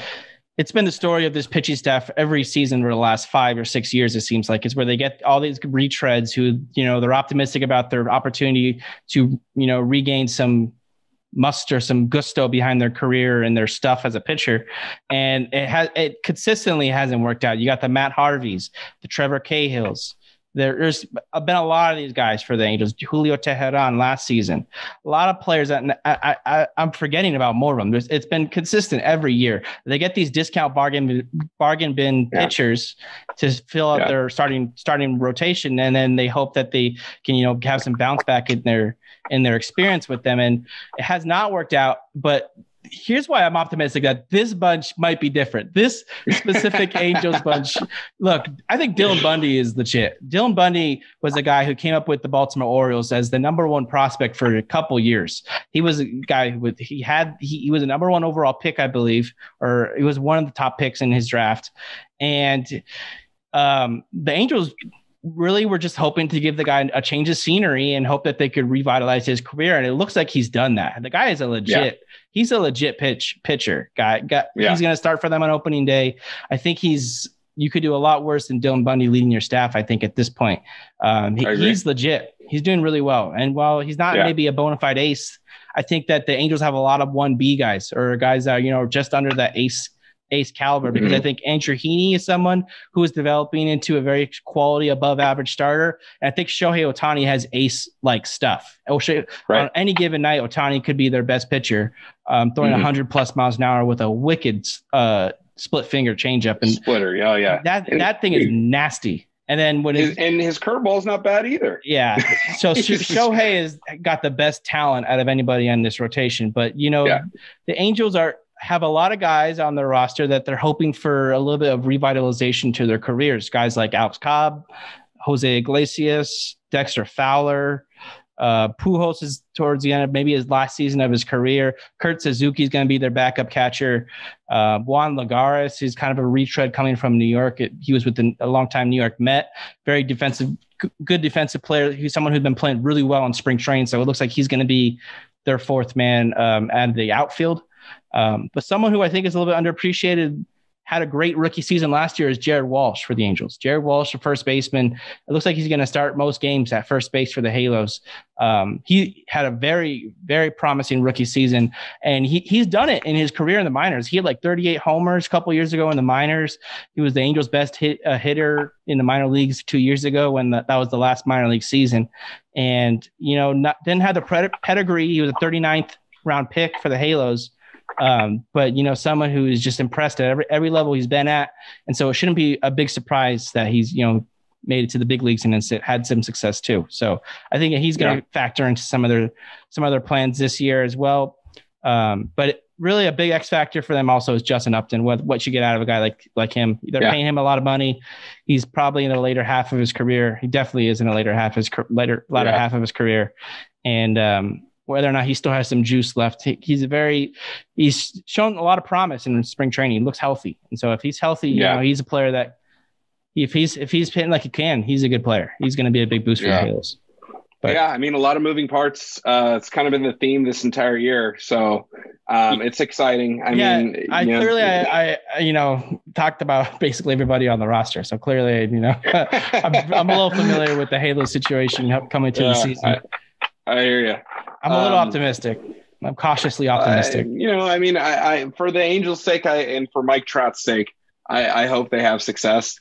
Um, I mean, the Houston Astros are a good team. I'm biased against the Houston Astros for obvious reasons. Well, kind of a purist Houston's in that playing, regard. Houston is is an opponent fighting with one hand tied behind their back. They don't they don't have Justin Verlander, yep. um, and they they lost George Springer to the Blue Jays during the offseason. Um, they're you know they lost their closer Roberto Osuna. I, I, I he uh, I think signed signed elsewhere during the offseason. There's a lot of guys. I mean, Jose Altuve had a very disappointing 2020 season. Whether or not he can bounce back is a major question. Um, someone who he was, you know, the storyline. Whether or not the cheating scandal was benefiting him, you know, more than we thought. You know, that's possibility. Right that that you know that's the case as well. So Houston has a lot to prove, and, and, you know they're a good team. If I had to you know set the odds for the AL West division winners, I would probably set Houston as the favorite. But in my heart of hearts, I think that the Angels are. There's going to be a lot of they're they're due for some positive luck, some some positive breaks, yeah. the ball to bounce their way. um, more than it has over the last couple years. And I think that you know this division could be theirs. I think that like what that some of the excitement you have for for the Ohtani season, what you've seen out of him, it's for me it's tenfold, dude. I'm so excited for what Tom, Ohtani could could possibly accomplish this season. I mean, he he's looked amazing. Yeah, he's a, he's an unbelievable talent. Um, I think this year is going to show a lot for uh, what he can bring to the table for the years to come. Definitely. And then the Oakland A's, they uh, in fact won the division last year. They lost a lot of good, good players during the offseason. They lost Semien, they lost Liam Hendriks. Um, Their pitching staff, you know, they're going to be relying on Chris Bassitt, I think, as their ace, and Sean Manaea. And um, I do like Freddie, Frankie Montas. I think he's a good player. Um, but you know, the A's are a team that they're going to be trying to do it with a lot of uh, you know money ball style players. They're not going to be paying a lot of money this year to their to their mm-hmm. you know projected payroll, and you know they're going to be playing w- with one hand tied behind their back in the sense that they're not paying as much as their opponents. Yeah. And so um, uh, yeah, if, if they can do the Tampa Bay Rays thing, then like you know they're sure, going to be trying but, it again. It's classic A's. It's going to be a classic yeah. A's season. A team that maybe yeah. doesn't look like the most talented roster on paper in the ALS, but they're going to. I'm telling you, they're going to compete. They're going to be there. They're gritty. They're, they're, they're gritty probably team. if you if you said I was betting on one team finishing the top two, I'd probably say the A's are probably the best bet. I, I, don't know. Maybe maybe they're not the best bet to win, but I am pretty confident in their ability to um, p- pass up the Angels or the Astros at some point in the standings. Yeah. I think they're just you know a team that doesn't quit. They're always going to compete. I agree. I agree. One team that is super exciting for me in the AOS that's not the Angels is the Mariners, though. The Mariners have a lot of young talent. So I, I don't think they're going to be winning a lot of ball clubs this year. One of those teams like Pittsburgh, where I, I don't expect them to have a, a, ton of on-field success, but I do think that the Seattle Mariners have a, lot of young players that I'm very excited to watch how their futures progress. Guys like the rookie of the year last year, Kyle Lewis, Jarred Kelenic, I talked about earlier on the podcast. He's a he's mm-hmm. a, a, dark horse candidate for AL Rookie of the Year, a slugging. Uh, he's a lefty bat outfielder he came over from uh, the New York Mets in the Robinson Cano deal. He's really, really good prospect. Um, but the, the Mariners have some really good young players. And I think that uh, while this necessarily might not be their season to contend. I think that they have a good core. They're doing some good things there. I mean, Dipoto just is constantly tinkering. Their general manager, constantly yeah. making trades. He, he, he can't sit still. The guy is right. ADHD with trades.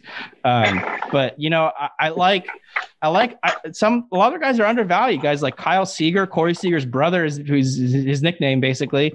Um, and then you guys got got like Dylan Moore playing second base and outfield, and and uh, Ty France came over from the San Diego Austin Nola trade last year. Ty France is someone who's really good hitter, having a really good spring training performance as well. So the Mariners are trending in the right direction. Maybe not this season. This they might be a little early, but you know, good five year plan developing in, in Seattle. Yeah, I mean they're they're a team that you've seen. They've spent a lot of money in the past, and it hasn't really paid dividends. But you're kind of seeing, like you're saying, that the the young guys come around. I, I, I like that you mentioned Ty France. I think that he's a he's a good weapon that's going to continue to develop, and you know, be one of those gritty guys that you look up one day and you're like, oh snap! Like, watch out for the Mariners. You know, you never know. And like you're saying, with Dipoto, like he's going to make that move when it makes sense. So he he kind of reminds me of an AJ Preller for the Padres in that way, in that like he'll get it done when the time's right. So yeah, you never know. All right, let's roll into the AL Central Division, um, a division that is a little confusing to me, uh, possibly because the team that seems like the outright you know designated champion of this division before the year even starts is the the White Sox. I haven't seen anybody pick against the Chicago White Sox in this division, and I, I you know I think it's a little bit of a slap in the face to the Minnesota Twins. I think the Twins yeah. deserve some more respect. They're they've been a, a, very consistent organization playing some great baseball over the last few years, and you know they're a good yeah. team coming into this season. I think that's going to be the battle between the White Sox and Twins, especially after um, the injury to Eloy Jimenez getting that torn pectoral. Yeah. He looks like he's going to be out for like five to six months, they say.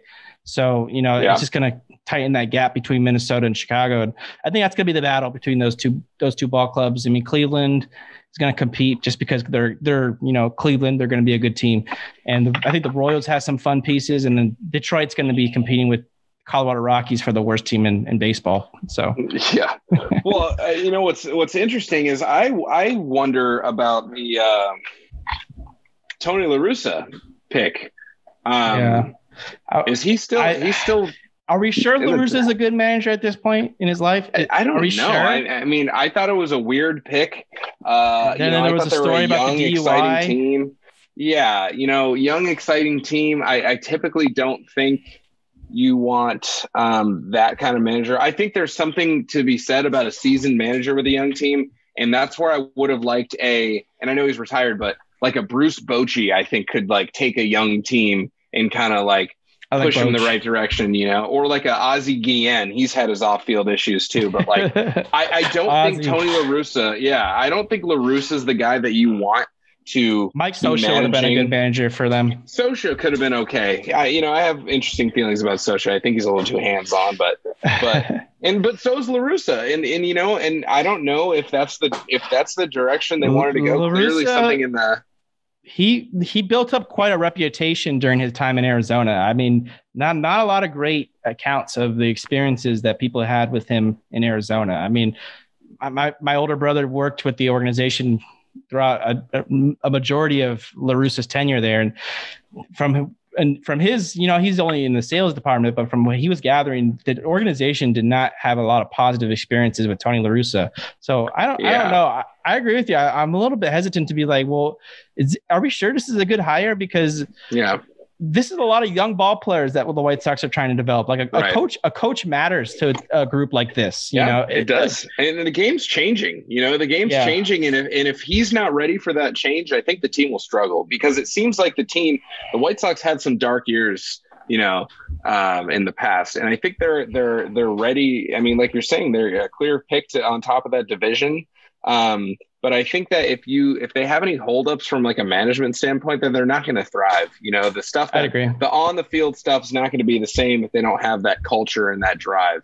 So Definitely. it is interesting. I'm not sure if I like that. Uh, if I like that hire, I would have liked to see um, either a, a younger guy or, or, or I don't know. I just don't think he's the right fit. I think Tony La Russa is the kind of guy that you see managing a team like the New York Yankees or something. Um, you know, Okay. you know what you're going to get. You're we're by the book, and I'm just going to give you the roster to do it. So, Yeah, um, and I don't think the White Sox are that kind of team. So, I agree with you there. Yeah, so the, I mean, really, there's not really much more to talk about with the Central. I mean, it's the White Sox and the Twins, and so I think we're pretty comfortable. Let's roll into the AL East now because this is this is a fun division, the AL East. yeah, Um, last but not least, this is you know the Yankees are the presumptive one of the favorite favorites to win the, the American League outright to win the pennant. Yeah. go to the World Series. Mhm. A lot of people's World Series picks. Look, the Blue Jays are are are very good young ball club. The Red Sox are a little bit of a dark horse. The Rays are always there. This is this division's up for grabs. So, so the Yankees don't count don't count your chickens just yet. You know, it, there's there's some some excitement to be had here in the AL East, and I think that the Blue Jays are, are a team that are going to be keeping a close eye on because I really really like what they're developing now in Toronto. yeah. I mean, I think the Blue Jays have the health factor. They have to. They have to. Definitely. They're dealing with a couple things. Definitely. Um, if everything goes right, I think the Blue Jays are exciting, and but so do the Yankees. I mean, I need Aaron Judge to stay on the field. Um, Totally. he's a generational talent, but if he's on There was talk about him being he was supposed to be the next face of the, of the sport, and then you Yeah. know, the injuries. Yeah. there's it's been two years now since he is right, he had that really good rookie season. and that's yeah, and he hasn't played. Uh, I want to say more than 150 games since, or maybe Something maybe like less that. Yeah, that. yeah. Um, It- it- I, I yeah. mean, I need him to stay healthy. Um, Stanton, I mean, the guy hit a lot of homers, but I like, I don't know. I, The- I, I, I think there's Toronto- question marks. Toronto got a lot better during the offseason. I mean, Yes. they added George Springer and Marcus Semien, two very, very good hitters. I mean, Yes. Semien's going to play second base. He'll have a little bit let. He he was not the best in, uh, fielder at shortstop. His defense was adequate. Um, so Yeah. maybe second base is, is a better fit for him. Maybe he yeah, can focus lean more on into the, bat, bat. a little bit. Yeah. yeah. Someone who two years ago in 2019, I think he came in third in the MVP, the AL MVP voting. He's very good. Yeah, good. He had a good, really, really impressive season two years ago. I think that last year was. I think there's he's somewhere in between. between he, very disappointing year in 20 in 2020. I think he's somewhere between the 2019 version and the 2020 version of himself. Um, But yeah, I agree. Springer, disappointing to see that Springer actually got a little bit of uh, an injury in, in the spring training. I think he, yeah, he might not be ready for opening day. But I, from my, I didn't hear about it being super serious, so that's good. Yeah, thing. I think he'll be um, back, and that'll be good because Springer is a he's legit one of the better hitters in baseball. I think. Yeah, uh, a dark um, horse. if he if he player. plays 150 games, he's a dark horse to win the home run title. Like he could hit the most home runs in the league. He's that good. It's a lot of homers, especially um, in Toronto. That, Toronto's a very good hitting ballpark. Yeah, Mm-hmm. I agree. No, they're an exciting team for sure, and I think it's one of those teams that you want to see succeed in that AL East. It's it's about time. I mean, yeah, the Yankees um, are good, but baseball fans you know, want to root I, you, for this team. I mean, the young core yeah. with Bichette, Teoscar Hernandez, and Vladimir Guerrero is super exciting. Ke- Cavan Biggio, a Hall of Famer's son. I mean, very exciting ball club they have in Toronto. Yeah, they, people yeah. want to. They want this team to succeed. Right. And I think that, yeah, and I think they, they have an opportunity. If they can capitalize. It's another one of those baseball divisions, you know, it's going to come down to the wire. It's going to, we're going to see what well, happens in health, October. I don't, I don't think there's a, there's a ton of depth in the, the, the rosters across the AL East. I think, I don't think that any of these teams in the AL East can suffer significant injuries to their rosters and still, yeah. you know, work through it. I think that right. there's a lot, there's a good handful of really key players on each of these ball clubs and whichever, you know, team that suffers the best health in that that significant bunch of players is going to be the teams that have the most success. If that makes sense. Yeah, I mean, hard to argue with it, that. It's it's going to be it's going to come down to staying healthy because it, again, it, it's the first time that these teams have played 162 games in almost two years now. So we'll right. see.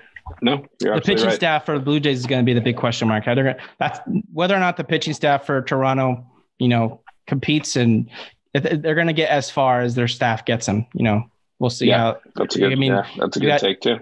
You got Ryu, Ray, Roark, Matz, and Stripling. A lot of guys who, you know, not necessarily expecting a whole ton of improvement out of. They are all these guys are kind of they are what they are. So they'll have to you know stay healthy, you know, out compete the way that they expect them to. So. Yeah. It's an exciting division in the East. I mean, the Red Sox are a team that I, I'm I'm very much looking forward to. I think the Red Sox go through a consistent, perpetual ebb and flow to their seasons. Consistently, you know, down seasons going into successful seasons. I think it's a bit. It's a last year was a very disappointing year for them, but you know they got Alex Cora back after the cheating scandal. He's back managing the ball club from all accounts, they really love him in Boston, despite you know mm-hmm. what happened there. Um, but Boston is, is a team that has a lot of young talent, and you know they get you know mocked for trading a guy like Mookie Betts and getting what people seem to think was peanuts. But you know they got some guys that are going to all three guys that are going to be competing for you know roster spots on an everyday basis for them. I mean they got. Yeah, uh, Verdugo, good player. Verdugo's a good player. The guy Jeter Downs, from all accounts, has been is a, is a solid player. Um, and then who was the other guy that they got? Um, they signed they, they signed Kike Hernandez. Go figure off the Dodgers roster. I think he's a good addition yeah. for them. Um, but you're high on Hunter Renfroe too, huh? He's a, he's a San Diego guy that you're high on. Uh, yeah, I mean Renfroe hit 30 plus homers in 2019 and didn't start. He only started like 120 games or something. Yeah, you know, I mean, he's kind of a guy that I think you he he reminds me of a Joc Pederson. Like you're gonna get what you're gonna get. Like if you let him swing the bat and just let him play I mean, he's not going to be a high average guy. He might strike out a little bit more than you want, but like 30 homers is 30 homers.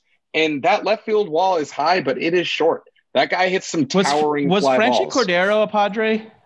Was he yes, ever up? Okay, that's what I thought. Yeah. So he, he's he, moved around he, the league now too. He's in, but he found himself in Boston after the Benintendi deal. If he could, I mean, if that guy can stay healthy, I he's one of the more impressive players, young players that I've seen. I saw that guy hit a ball in Arizona I have never seen a baseball go that high up on the center landed, scoreboard. Right? Unbelievable power out of that kid. Yeah, that um, guy, so that he can figure it out. Strong. Who knows? Definitely. Yeah, yeah Franchy, Franchy Cordero is someone that I think could be a, a, a, big X factor for Boston. If he solidifies that spot as an everyday yeah. left fielder for them, that could be a major boost for them. Right. Super talented player. Um, but I mean, the Rays are also a team that is just getting way too slept on for the East. I mean, uh, they they won the AL the AL last year. They they made it to the World Series. I mean, it's not yeah. it's not a fluke that I know they lost Charlie Morton. I know they traded away Blake Snell. They're not as good as they were last season, but they still have one. They have the second ranked, I believe, second ranked farm system in baseball. I mean, they have some really really talented young ball players that will be coming up through their system very soon. Guys like Wander Franco, uh, Brendan McKay, lots of really good players. I, I can I I don't really know all their prospects, but I mean, they're very talented yeah. ball club that you know you can't just pencil them pencil them into a fourth place finish and write them off. Yeah. They're, they're going to be competing all season, and if they if they don't get hurt, then you, they're a shoe in to you know compete for a, a playoff spot in the AL. Yeah, no, I, I think you're you're right. You can't count them out. Um, I think that the Rays aren't done. If that means like this year, then you know, necessarily. I don't necessarily think that um, they're a shoe in for the playoffs. I think they're going to have to grind, but I definitely think that you're going to see the Tampa Bay Rays, um, you know, in the top of that division for years yeah. to come. Because, like they're you're saying, not going to get embarrassed. The they're going to compete. Yeah, they've uh, they found a way to kind of do that, you know, Moneyball thing, kind Definitely. of a combo of it, right? And they've always know, been ahead of the game with that. Exactly. You know, the analytical standpoint, they they do that. Um, what I want to see is I want to see a new ballpark down there. That's what I that's totally. what I want. And in it's Oakland, the, it's the, the worst ball. That, it's the worst ballpark. That in Oakland, trash. They're they're both yeah. they're both embarrassing. it's so bad. But they yeah. have. I have. Have you seen some of the proposals? I've seen a few different proposals for the a new ballpark in Tampa Bay. So hopefully that happens. Mm. Be cool. Yeah, they need some. They need some. But anyways, yeah, um, and the um, poor yeah, Orioles the Rays, uh, rounding out that division. The Orioles are going to be terrible. Oh boy.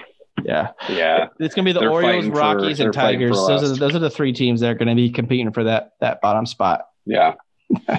yeah, I mean, it's going to be a couple Good years for Trey for, Mancini. For though. Kinda... Trey Mancini, it's it's the Trey Mancini comeback show. I want to see you know that guy come back from cancer strong. He's he's a super good story. Yeah, yeah, but eh, give me a pick, dude, for the AL East. And look, I think it's it's the Yankees have the highest floor, but I think the Blue Jays have the highest ceiling. So give me a best case scenario Blue Jays season. i am taking I'm taking Toronto just to just you know be exciting about it.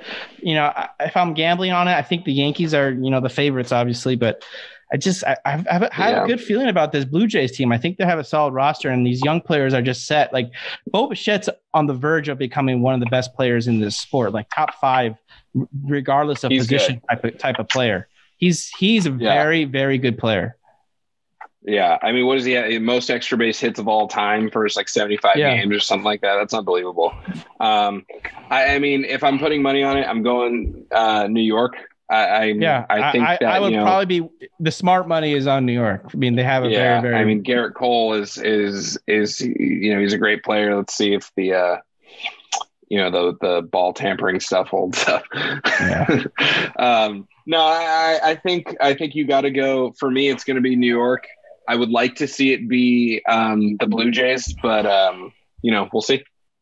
Definitely. All right, quick. Let's go. Let's go through some of your uh, picks for award winners this season. We'll go through these very quickly, just off the top of your head. Who do you think, gun to your head, is going to win these these awards? The the okay. NL the NL MVP. Um, Freddie Freeman.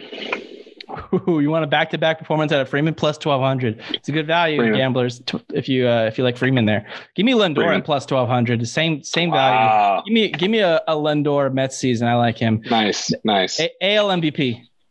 Trout. Yeah. Trout. Let me ask you this: Tr- Trout's the, the, runaway favorite, plus two hundred. The next up is Bregman at a thousand, plus one thousand. Um, what would an, a Shohei Ohtani MVP season look like? What statistically, um, like, what would he have to do to win the MVP over his teammate Mike Trout? One, the so Angels have to make the playoffs, it. right? They got to make they, they got to make the playoffs. Uh, yeah, I think so. Okay. I think so because then it's just indicative of how valuable he was. Okay. Um, I think that the AL MVP is is kind of in it's if it's not Trout, it's going to be kind of an up for grabs like story thing, like a season thing. And what I mean by that is, you know how the MVP works, Store, uh, Baseball Writers Association, whatever. Um, yeah. They're going to eat that up. I think, and we talked about it. I'm not sure what I said, but I think if Shohei wins like 12 games on the mound and hits like 25 to 30 jacks, how do you not give him the MVP? like, how do It'll you be not? interesting. Like, it'll be interesting to see how much if if he plays to the potential of what he's capable of what kind of war wins above replacement he number he ends up putting up because the pace he was at in 28 or was it 2018 when he was pitching and and hitting the pace he was at was Yeah. incredible he put up like a like one he put up one war in like a week like Right, once, yeah, exactly. it so I don't, the pace yeah. he was at was incredible at times Yeah, no, I mean, I think it's going to be if it's if it's as good as it's going to get, it's going to be something that we've never seen, and and I think that you have to hand him the MVP. But for me, it's just going to be if he does it, I think you have to give it to him because I mean, I don't know. I've had con- I've had it'd be it'd be something with- we've never seen basically that's Right. what we're saying And- we have and- to see a season that we've yeah. never seen before right, and and let me let me preface that or or you know kind of tie that in with I think Mike Trout could have won MVP every year for the last six seven years. the right, LeBron So- James argument. The the Exactly. thing Kyle Kuzma being like LeBron should win, you know, however many MVPs Right. already. Yeah,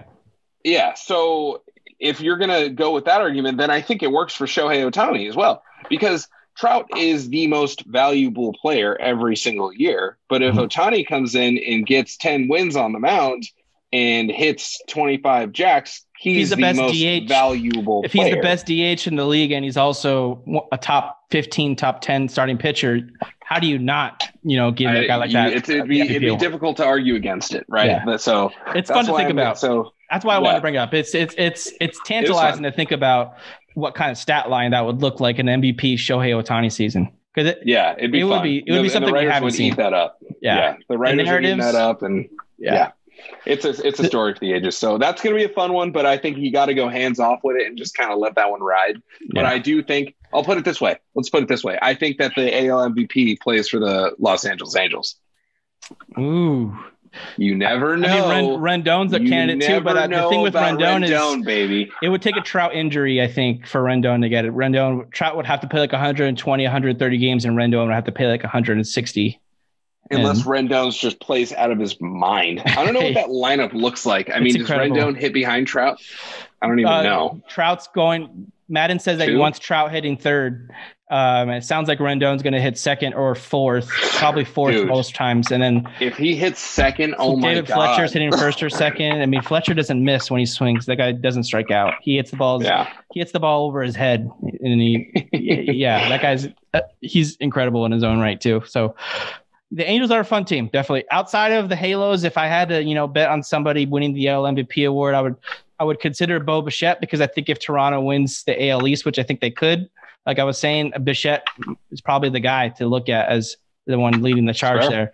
Um, That's fair. I also kind of like the value you could get out of uh, Carlos Correa at plus four thousand. I mean, that's that's really juicy odds, and I think if Houston, you know, Houston has a good shot at winning the AL West this this season. Bregman's a really good player, but I think Carlos Correa in a in a contract year, I believe he's a free agent at the end of the season, going to be super motivated to have the best season of his career yet.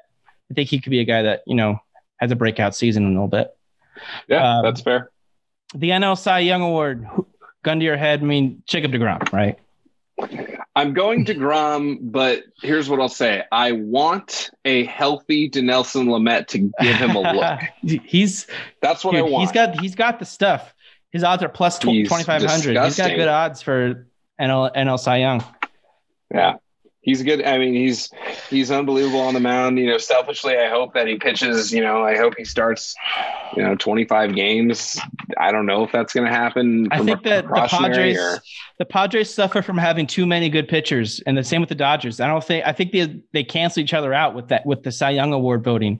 It's it's, it's kind of like with the Angels, how Trout makes it almost impossible for Rendon to win it because Trout in most circles is uh, almost always going to be considered the better hitter over Rendon.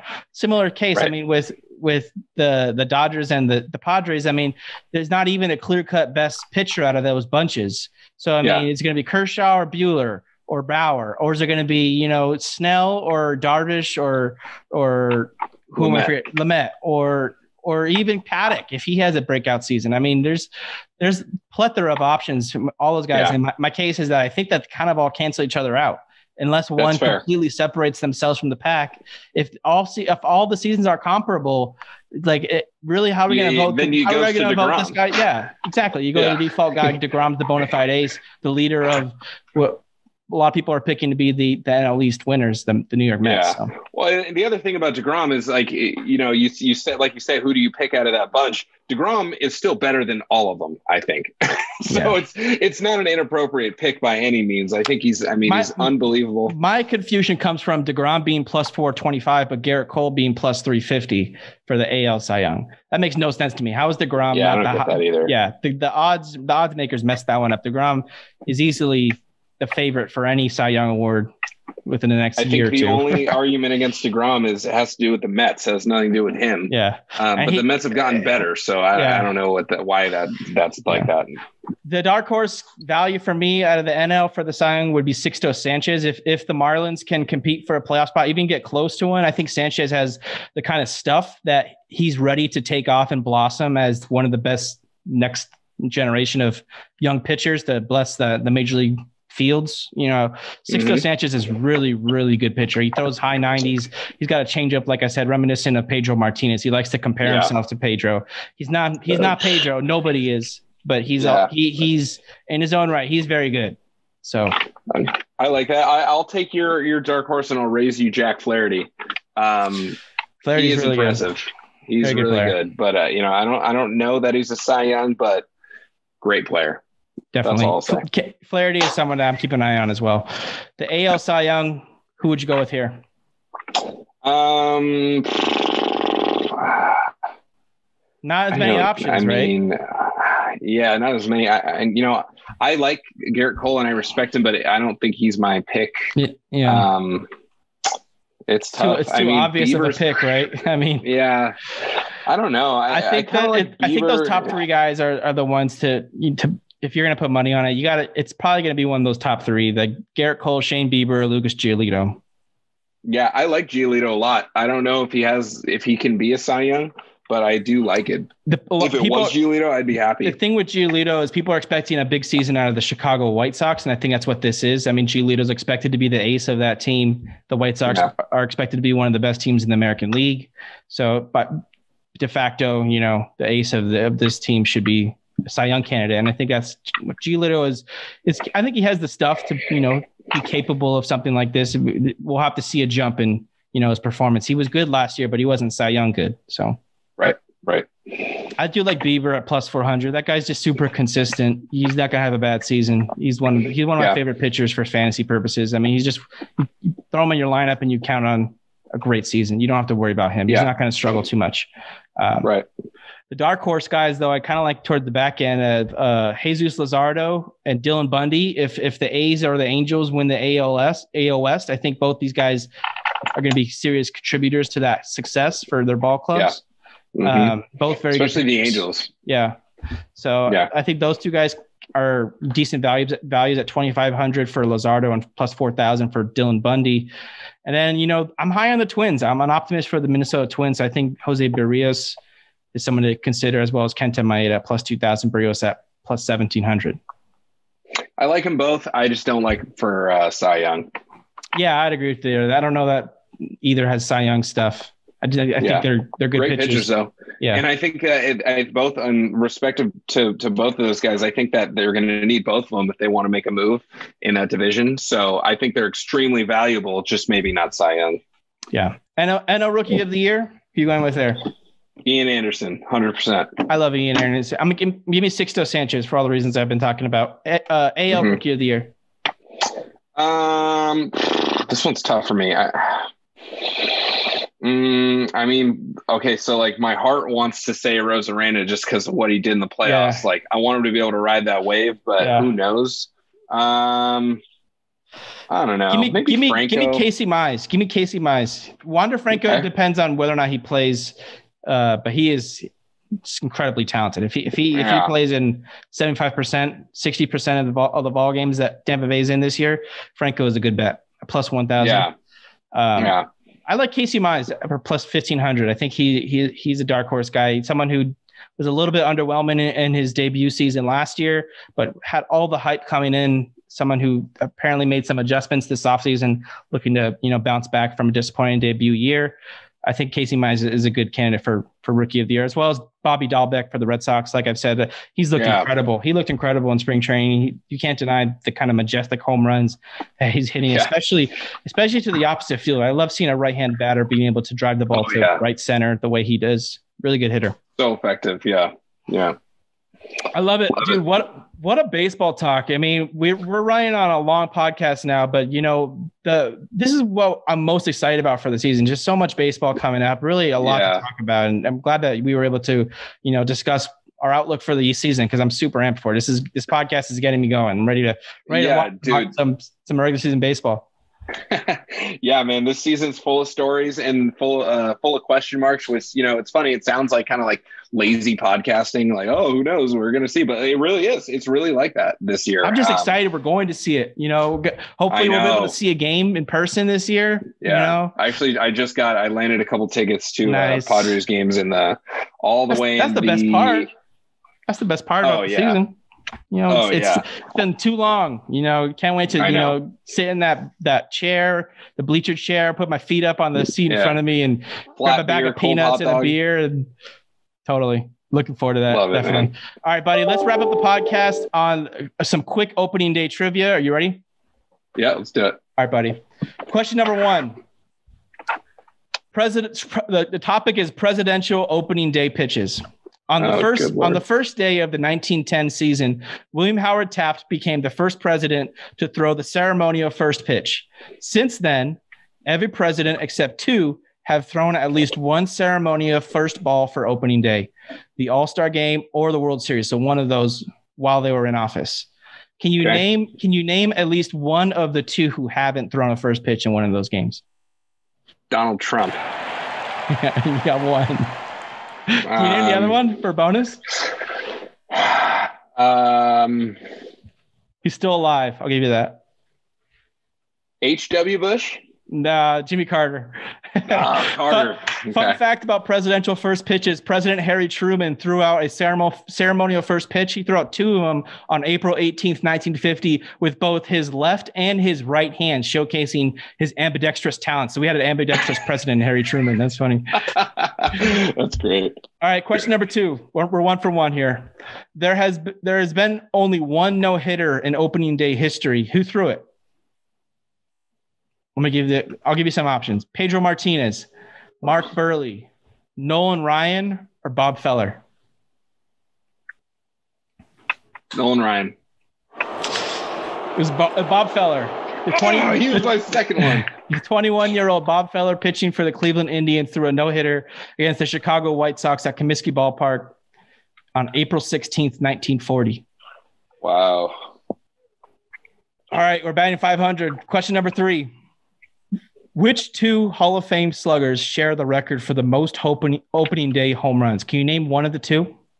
There's two Hall of Fame sluggers. They they they've hit the most home runs in opening day history. They're in the Hall of Fame. So no longer playing. They own, they they're tied for the record of eight home runs hit on opening day in their careers. I have a, I have a weird weird guess. I'm gonna go for it though. Jim Thome. It's a good guess, but and you're in the right vein. You're in the right okay. idea ballpark.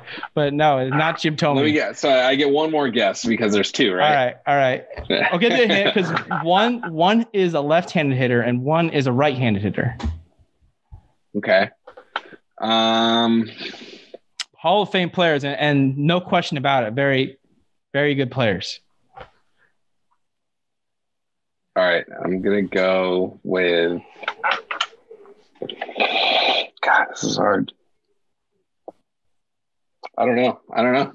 Uh, okay, wait, wait, wait, wait. Uh, no, no, no. I need to throw a guess. I need who, to who is the who are the best? Who was the best player of our childhood? The number one player that we all idolized when we were kids, like the first player that you liked.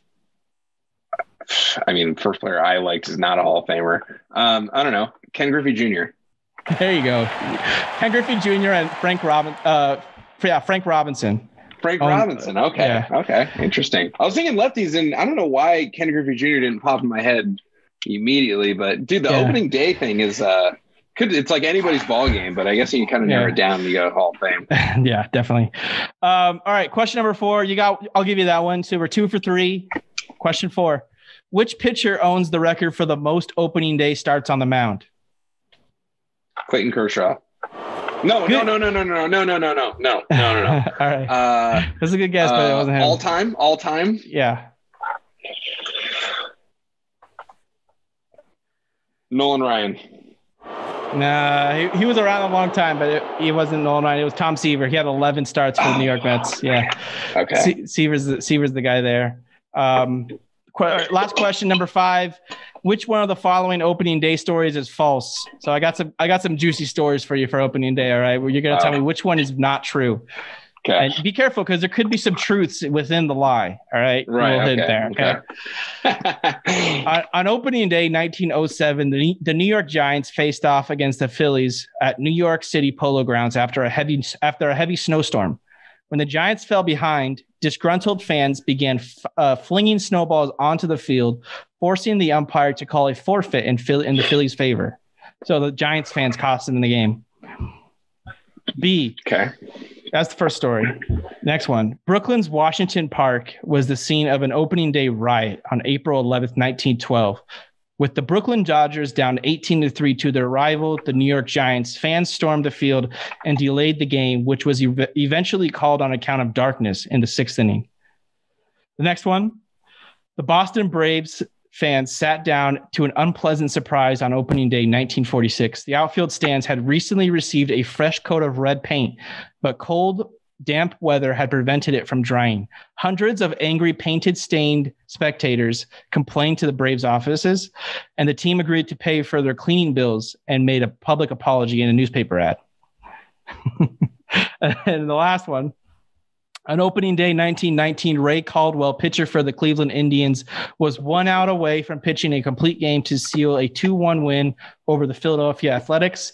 And as the story goes, a bolt of lightning struck somewhere within the confines of League, of League Park and it knocked Caldwell out cold. Some reports said the lightning struck an iron rail near the press box and it made it, its way down to the field and out to the mound. A number of players reported feeling some some amount of electric shock, uh, and Caldwell got the brunt of the blow. However, he went on to finish the game and get the last out to seal the win and start the season's the Indian season off with an electric performance. Oh my God. Um, I'm going C, the paint one. that one was funny. That one, I like that one. No, it was D.